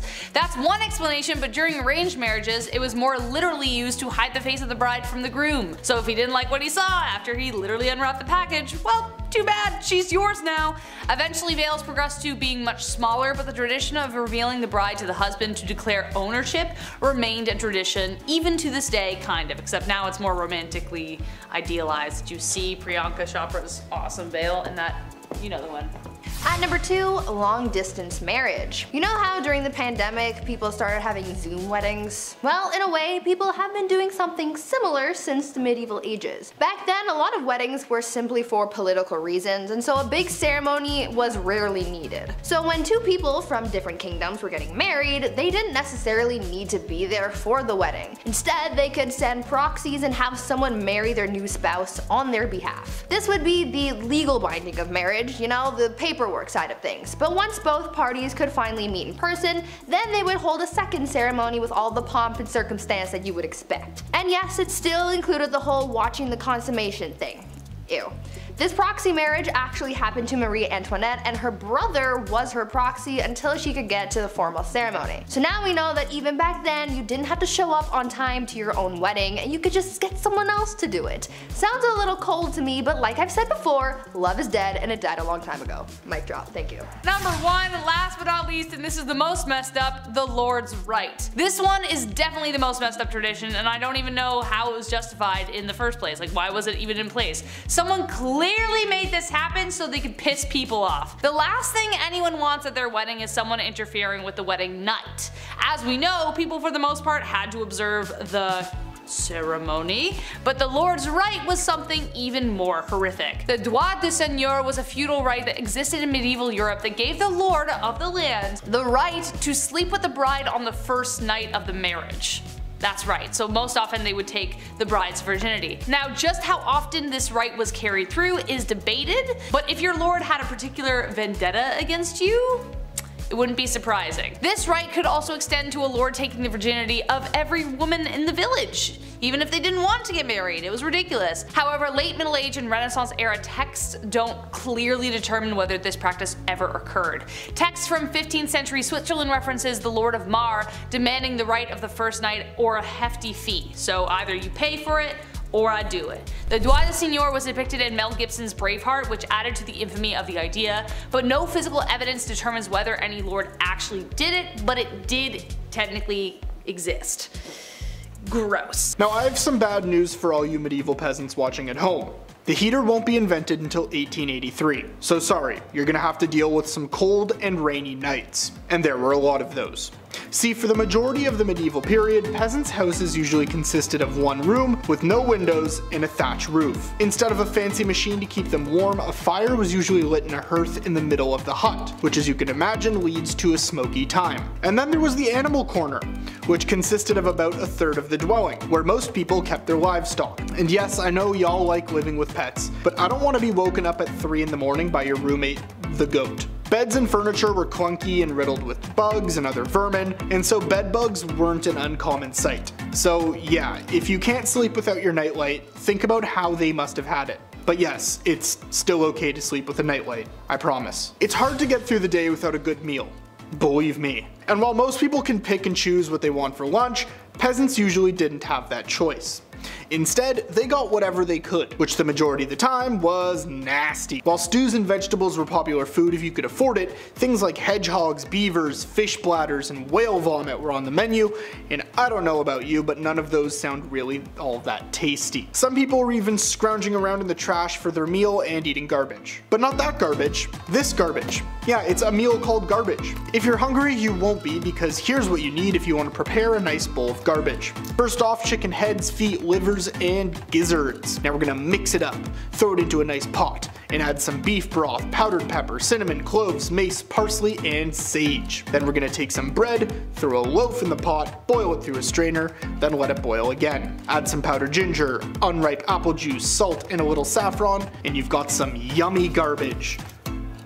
Which I don't think is a sentence I ever thought I would say. Now there were tons of horrible things women had to endure in medieval times, but probably the worst was the expectation to either be wed and procreate, or become a nun. Now I can't speak for the woman watching or for any women in that matter, but in my opinion, Becoming a nun sounds pretty tempting compared to the dangers of procreation back in those times. Now I know math usually isn't fun, but this statistic is another example of that, because childbirth would kill one, because childbirth would kill roughly one out of every three women, or about 33%. Today's rate is roughly 0.028%. And the sad truth was that there wasn't really much you could do to improve the situation. I mean, they're peasants, so hygiene was poor, birthing protocol wasn't fully established, and neither was maternal care. So people came up with all kinds of remedies to help women. And here's a shocker, most of them were kinda useless. There's a reason you don't see spouses smearing eagle poop all over their pregnant partner's belly. Physicians and doctors were also kinda useless, and the only help those giving birth would really get would be midwives, priests, or both surrounding the women and praying.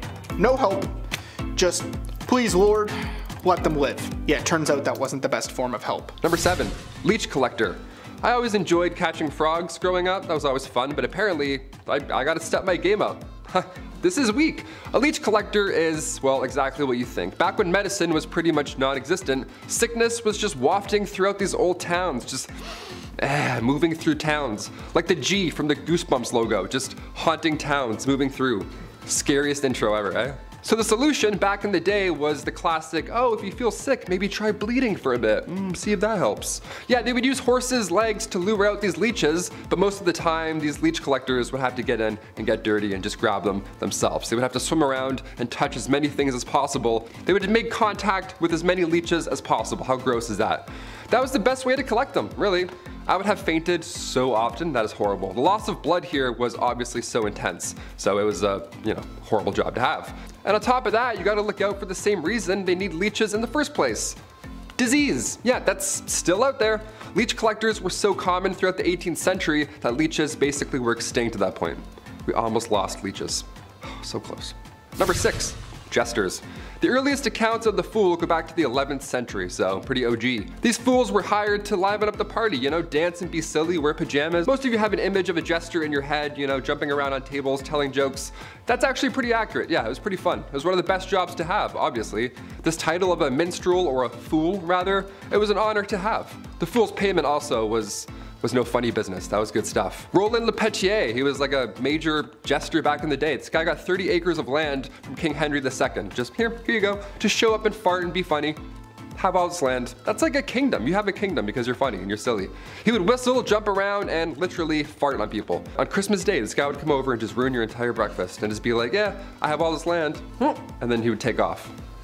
It's crazy. You just ruined Christmas, sir. Stop farting on my food and family. Thank you. I would never want to be a jester. They had to also like go into battle and like spread bad news too. It was fun and silly, but they were also royal. They had to do lousy stuff too. Number five, groom of the stool. Nowadays, higher ups in the office, they have assistants, you know, to grab your coffee for you. Maybe they answer some phone calls, keep the business running while you're off, you know, doing your businessman stuff. Assistants are vital today. The groom of the stool though, that was, uh, huh, that was a bit much.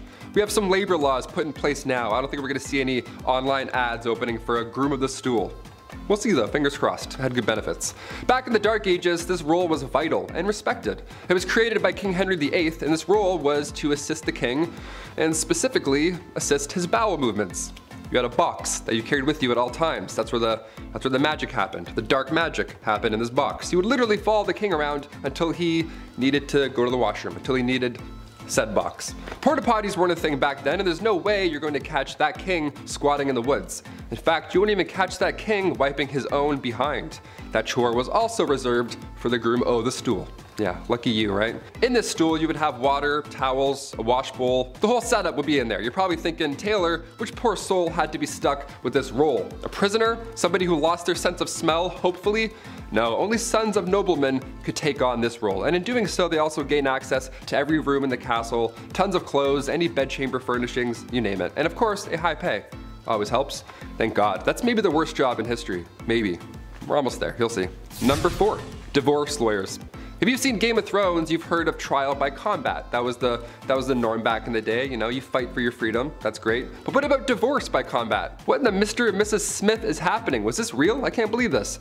If you and your significant other weren't getting along in the dark ages, instead of you know dishing out thousands on couples therapy and signing all that paperwork and getting it done with and going your separate ways, no, instead they would battle each other like combat. It was an organized event too. It had restrictions in place for the husband. It's pretty hilarious to think back on. Like the husband would have to stand in a hole with one hand tied behind his back, while the wife ran circles around this hole with a sack full of rocks. A sack full of rocks, how intense is that? That's why you don't cheat in the dark ages, Lancelot, okay? Just take the barn, take the horse, take it all, I quit. Get me out of this hole, untie me. Number three, toshers. Toss a coin to your tosher. Here we go. This was one of the worst jobs back in the day, and it wasn't even a legal job. Shh, don't tell. If you don't any, uh, if you know any toshers, keep, keep their secret, you know? Early 19th century London, I know, a little more modern here, but definitely worth a mention. These toshers would spend all their time in sewers below London trying to find coins or valuables that have been just accidentally washed away. Yeah, they would just search for scrap metals, anything really that nobody else wants to go down and claim. Or reclaim, rather. It was worth the plunge as well. A lot of these folks would make around 20,000 a year. Just gotta do this a lot, and you're good. Number two, dentist, doctor, surgeon, spy. Dentists were not a thing in the Middle Ages, you know. Dr. Downer didn't politely tell you to floss more and then shake your hands while you're watching a show getting a cleaning. No, it wasn't like that at all. They did have a barber. They had one guy, he did it all. A barber from the dark ages. Yeah, this appointment is gonna suck, my friends. Cavity, toothache, maybe you accidentally bit a rock, chipped a molar. They would only pull these teeth. That was the only solution. Barbers were responsible for cutting hair, pulling teeth, bloodletting, you know, the classic three-in-one appointment we all have to do every month. Doctors were seen throughout history and they've seen a lot of horrible stuff. Back in the 1500s, patients were walking in with an arrow sticking out of their legs. Yeah, instead of cutting the tip off and pulling the opposite way, the arrow remover would come in and then, you know, cut into the injury, opening it more that's always great. And then you would hold it open, and then you'd pull the entire arrow back out of your leg. Yeah, what a fun job. Or chest. Wherever the arrow went, you had to figure that out. This poor soul. And finally, number one, the rat catcher.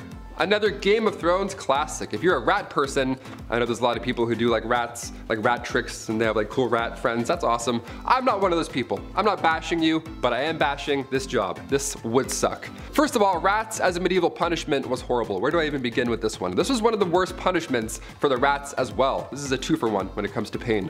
A rat trap involved a man being tied down to something and then a metal enclosure would be strapped to his abdomen or chest. And then inside this enclosure, they were rats and they were also like tucked away. And then historically, they would heat the uh, metal enclosure and the rats would panic and try and get out and they would chew through the softest part, which in this case was your chest or abdomen. It was horrible. It was an absolute nightmare. But these rats had to come from somewhere, or rather, someone.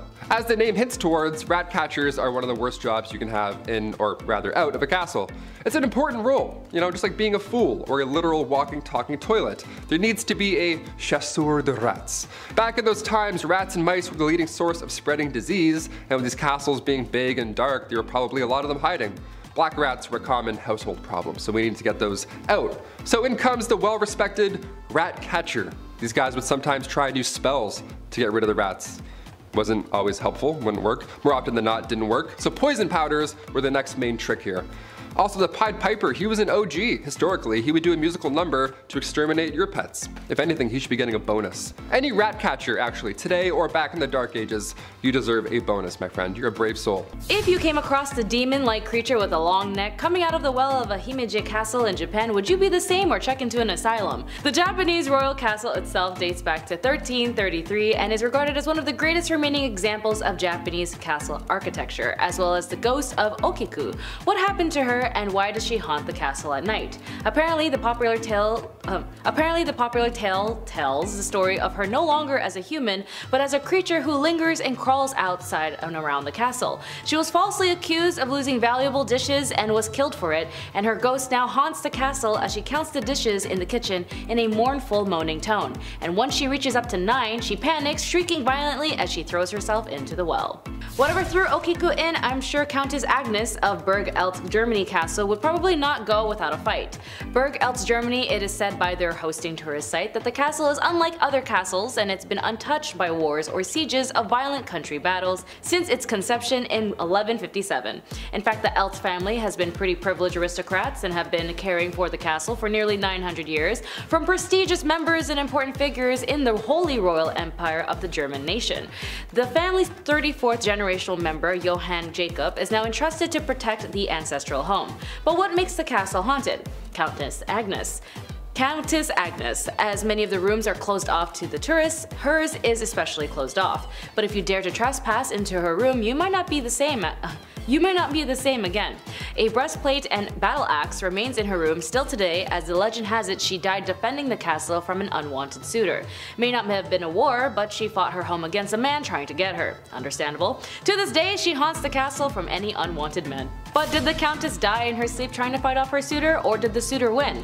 As for the legend of a young princess in East Scotland built in 1575 and 1636, lies an antique building known as the Castle Fraser, a famous elaborate architecture, beautiful fields of farmland and gardens, but according to legend, a young princess that was once staying at the castle was brutally killed in her sleep. Her body was dragged down the stone stairs, leaving trails and stains of her blood behind, and the staff and occupants tried hard as they tried to remove the stains but were ordered instead to cover up the staircases with wood paneling, which remains as part of the interior design today. Some have even mentioned seeing the princess and if you went home after you'd wake up with her lying next to you. Oh my god. I hate paying my taxes as much as the next guy, but if you think it's complicated today, it is a cakewalk compared to what it was like in medieval times. Rules were constantly fluctuating and depending on how the lord in charge was feeling, you could give up basically everything just because they felt like it. So for most peasants, they had to rely on the generosity of their lord and hope that he would fix taxation at a low rate, or if they were incredibly lucky, not be on them 24-7 about payment. But if you go around Europe, levels of taxation did of course vary between the different states. So a peasant in England's tax is going to be way higher than someone in a more relaxed area like Sweden. But the tricky thing is that a lot of peasants and tradesmen had irregular incomes. I mean, you can't always predict when someone is going to buy your stuff. And so if you were going through a rough time and didn't have the monetary value that your respective lord was hoping for, you could be in for a lot of trouble. And, as you're about to find out, punishment for something even as minuscule as that could lead to drastic consequences. So,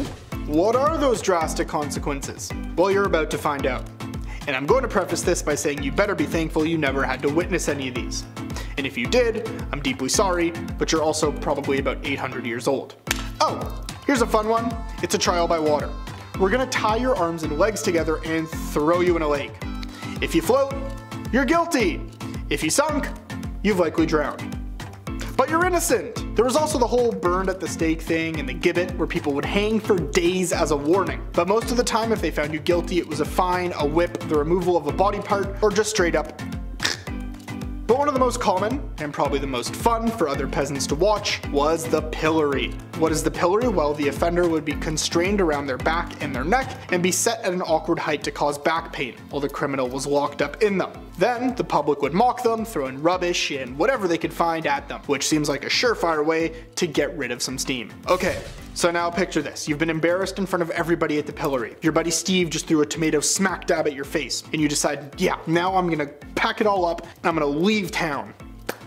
Uh, yeah, good luck with that. See, records from that time show that a sizable proportion of people not only didn't get to travel to other countries, but they never even left their region or the village they were born in. Good luck trying to find a place to rest along the way, because accommodation was few and far between, and usually way too expensive for a typical peasant to afford. And that's not even mentioning the robbers, looters, and whatever or whoever else is out there to get you. Plus, if you're staying outside, hypothermia is a very real possibility, and to get from place to place, you'd have to traverse rivers and streams that were used for both sewage and for drinking. But people did this because while there was disease and it was rife, houses and makeshift dwellings were packed together inside the city limits limits, which offered safety in numbers and perhaps even the best chance to earn a bit of money. And if you're lucky, it could give you the opportunity to get away from Steve. I mentioned robbers and whoever else is out there, but there's a very real possibility that one of them had an affinity to ending people's lives. See, according to history, extra killings in medieval England were around 10 times more common than they are today. Roughly 46% of all deaths in men of adult age were caused by violence, so as a dude living in medieval England,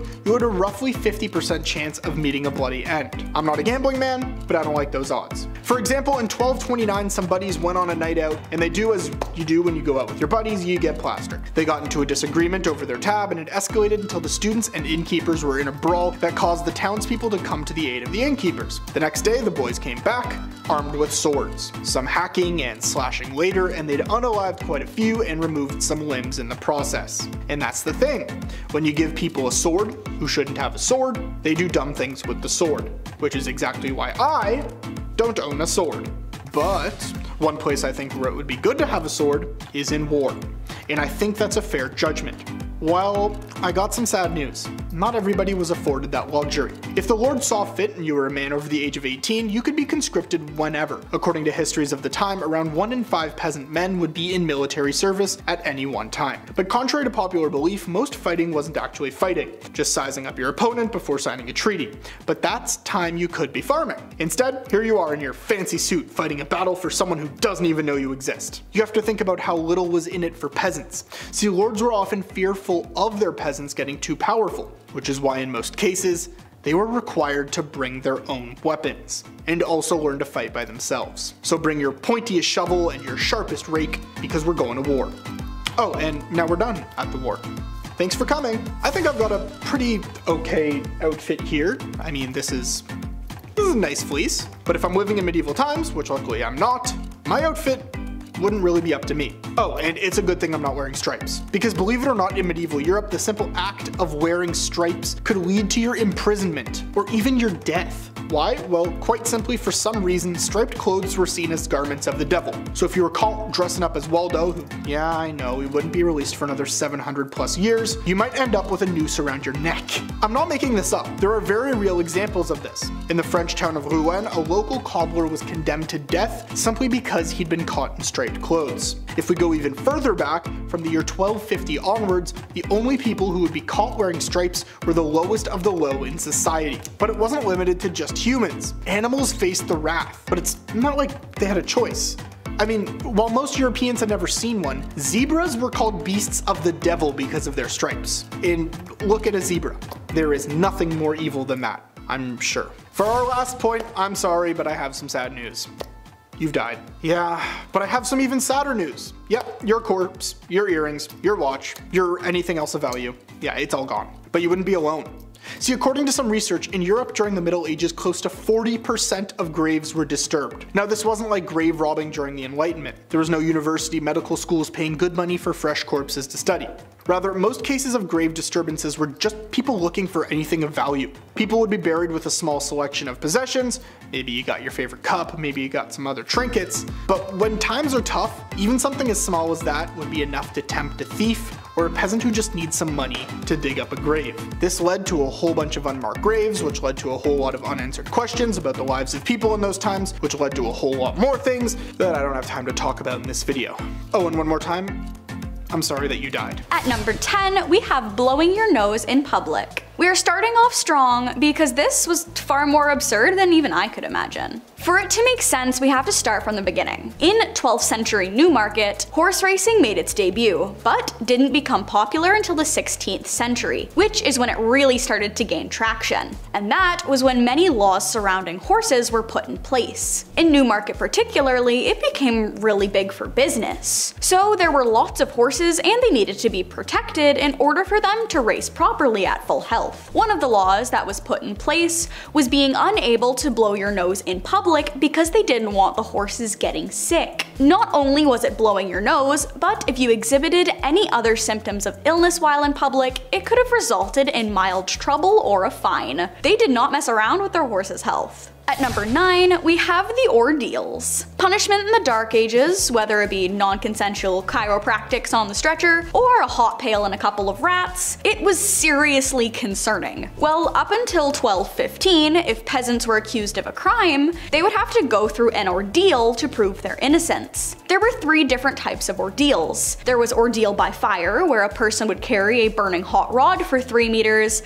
then their wounds would be bandaged. They would sit and wait for 3 days, with the wound still bandaged, and when the bandage was removed, the state of the burn would determine whether or not they were innocent. If the burn was healing, they were innocent, and if they weren't healing, they were guilty. There was ordeal by water, which is where the accused person would be thrown into a body of water. If they floated, they were innocent, and if they didn't, they were guilty. The third ordeal was combat, where they would literally fight to prove their innocence, and if they didn't complete the trial, they were guilty. It was in 1215 where the jury system was introduced, which was far more humane, considering there was a lot of flaws in the ordeal process. At number 8, we have entering the House of Parliament armed. This practice began in the 13th century and was actually never abolished, so it is technically still active to this day. What happened was that Edward II had made a lot of people he was ruling very very angry. So to avoid a peasant uprising with weapons and armor, and other things he couldn't fight back against himself, he enforced the law of being unable to enter the parliament building in armor or while armed, because that was considered a threat to a higher up, and it was a punishable offense. It was also punishable to enter the parliament building using force. So while the law itself has some logic behind it, it was put in place for all the wrong reasons. To protect a tyrant of a ruler, which makes no sense. Number seven, apple bobbing. In a time where bodies were literally piling up on the side of the road, I can't believe we got apple bobbing out of the whole ordeal. That's crazy. It seems like ill timing, but it is the dark ages. What can you do? Apples historically have always been a symbol of importance. The Greek golden apple started the Trojan War. Snow White's poison apple was a symbol of importance in literature and all that good stuff from growing up. And in the Middle Ages, apples were viewed as a symbol of romance and fertility. These things have roots, pun intended, of course. In medieval times, bobbing for apples was flirty. It was their version of speed dating, dare I say. What happened was all the leftover apples from the big harvest were then put into a big bucket. Each apple had a villager's name on it, then maidens would have three chances. Three chances to grab that apple with their teeth. Three chances to win a date with the English Tad Hamilton. What a weird time. Can you imagine if this was in Game of Thrones? Reek is just shivering for two seasons, bobbing for Ramsay's Bolton apples. We're like, medieval times were dark, holy sh. Number 6. The feudal system, aka feudalism, was a form of structure system existing in medieval Europe in which people would work and fight for nobles who gave them protection and land in return. A social political system in which landowners would contractually bind tenants to exchange their goods, loyalty, and simple space for safety and comfort within the laws of those ruling. Basically, this is like our renter's agreement now. I'll give you a place to stay and some heat. You give me an unfathomable and overpriced amount of shillings for these extremely low ceilings. Yeah, talk about crooks, man. This system stayed in place for more than a thousand years and managed to fizzle its way out of society somewhere in the 15th century. Not just anybody would ask to be signed to this deal. There was structure and there was order. There was a lord, aka the landowner, aka your landlord, allowing vassals, aka tenants, to rent the land by providing services, especially military services. Yeah, you can stay here, but once in a while we're gonna need you to dump a bunch of boiling water and over that wall. Is that cool? Yeah, you're fine with that. The plot of land, called a fief, was typically worked on by serfs who were laborers who had very few rights and were bound to the land itself. These are the lowest class of people, and they basically did any and all to stay safe on the lord's land. Jobs would include farming, jobs would include cleaning, and was a minimum of three days work to maintain in good standing and remain stationary. Ah, sure, there was no dental or mental health days, but come on, a three day work week? Plant a couple carrots here and there? Eh, it doesn't seem that bad. Number 5. Fear the Dead. With The Walking Dead on their 47th season, I think it's time to take a peek into zombie history, shall we? And find out where this grim idea really started. Well, it's certainly not a new one, I'll tell you that for free. As far back as the early 1300s, residents were buried in the village of Wharram Percy, where archaeologists discovered them many moons later, and they discovered marks on their bones. Cuts, burn marks, you name it. Apparently this was all done after they had passed away. But why? Scientists believe that these injuries inflicted after their untimely death were to prevent them from being reanimated, you know, coming back to life and haunting your village. To keep them in their graves, of course. Unless this dude did something to piss off an entire village that much, they were clearly afraid of this corpse coming back to haunt them. Number 4. Studia Generali. This period also saw the birth of what we call the modern university. This was a culmination of material translated and taught to provide a new infrastructure to scientific scholars. Some of these new universities were registered by the Holy Roman Empire as an institution of international excellence, giving it the title Studium Generale, or better known as Studia Generale. Most of the early Studia Generale were discovered in Italy, Spain, England, and France. These places of study were considered the most prestigious places of learning in all of Europe. I bet you this school hoodies were still so expensive. Just someone's old textbook with a mustache drawn on Marcus Aurelius. The listed number of institutions began to grow as new universities were founded throughout Europe. As early as the 13th century, scholars from the Studia Generale were encouraged to speak and lecture courses at other institutions within Europe to share documents and information which led to the current academic culture seen in modern universities today. It's a TED Talk, come on. There had to be one cool professor back then like the guy who lets the class teach itself, orders pizza, has tenure, and hates the monarchy. Number 3. Medieval taverns. Say you want to grab a pint with the local lads. Where do you get an IPA in the dark ages? Where do we get a six pack of Arthurian ale? Well, this is the medieval ages, so instead of venturing through the woods to hopefully maybe find another town, just ask thy neighbor. That's right, in the Middle Ages, you could brew your own ale. No problem, no one's asking any questions. Give it a shot. In the late 12th century, baking bread was not freely permitted, but making ale in your basement was. Uh, I guess that's great. So the higher ups, the noble lords, they wouldn't care if you made ale and had a block party. But if you made a weak ale, or it was improperly measured and then distributed, then, and only then, do you get a fine. Arrest this man at once. Number 2. St. Patrick. St. Patrick was a 5th century Roman British Christian missionary and bishop in Ireland. Also known as the Apostle of Ireland, although he is the first apostle, having lived prior to the current laws of the Catholic Church.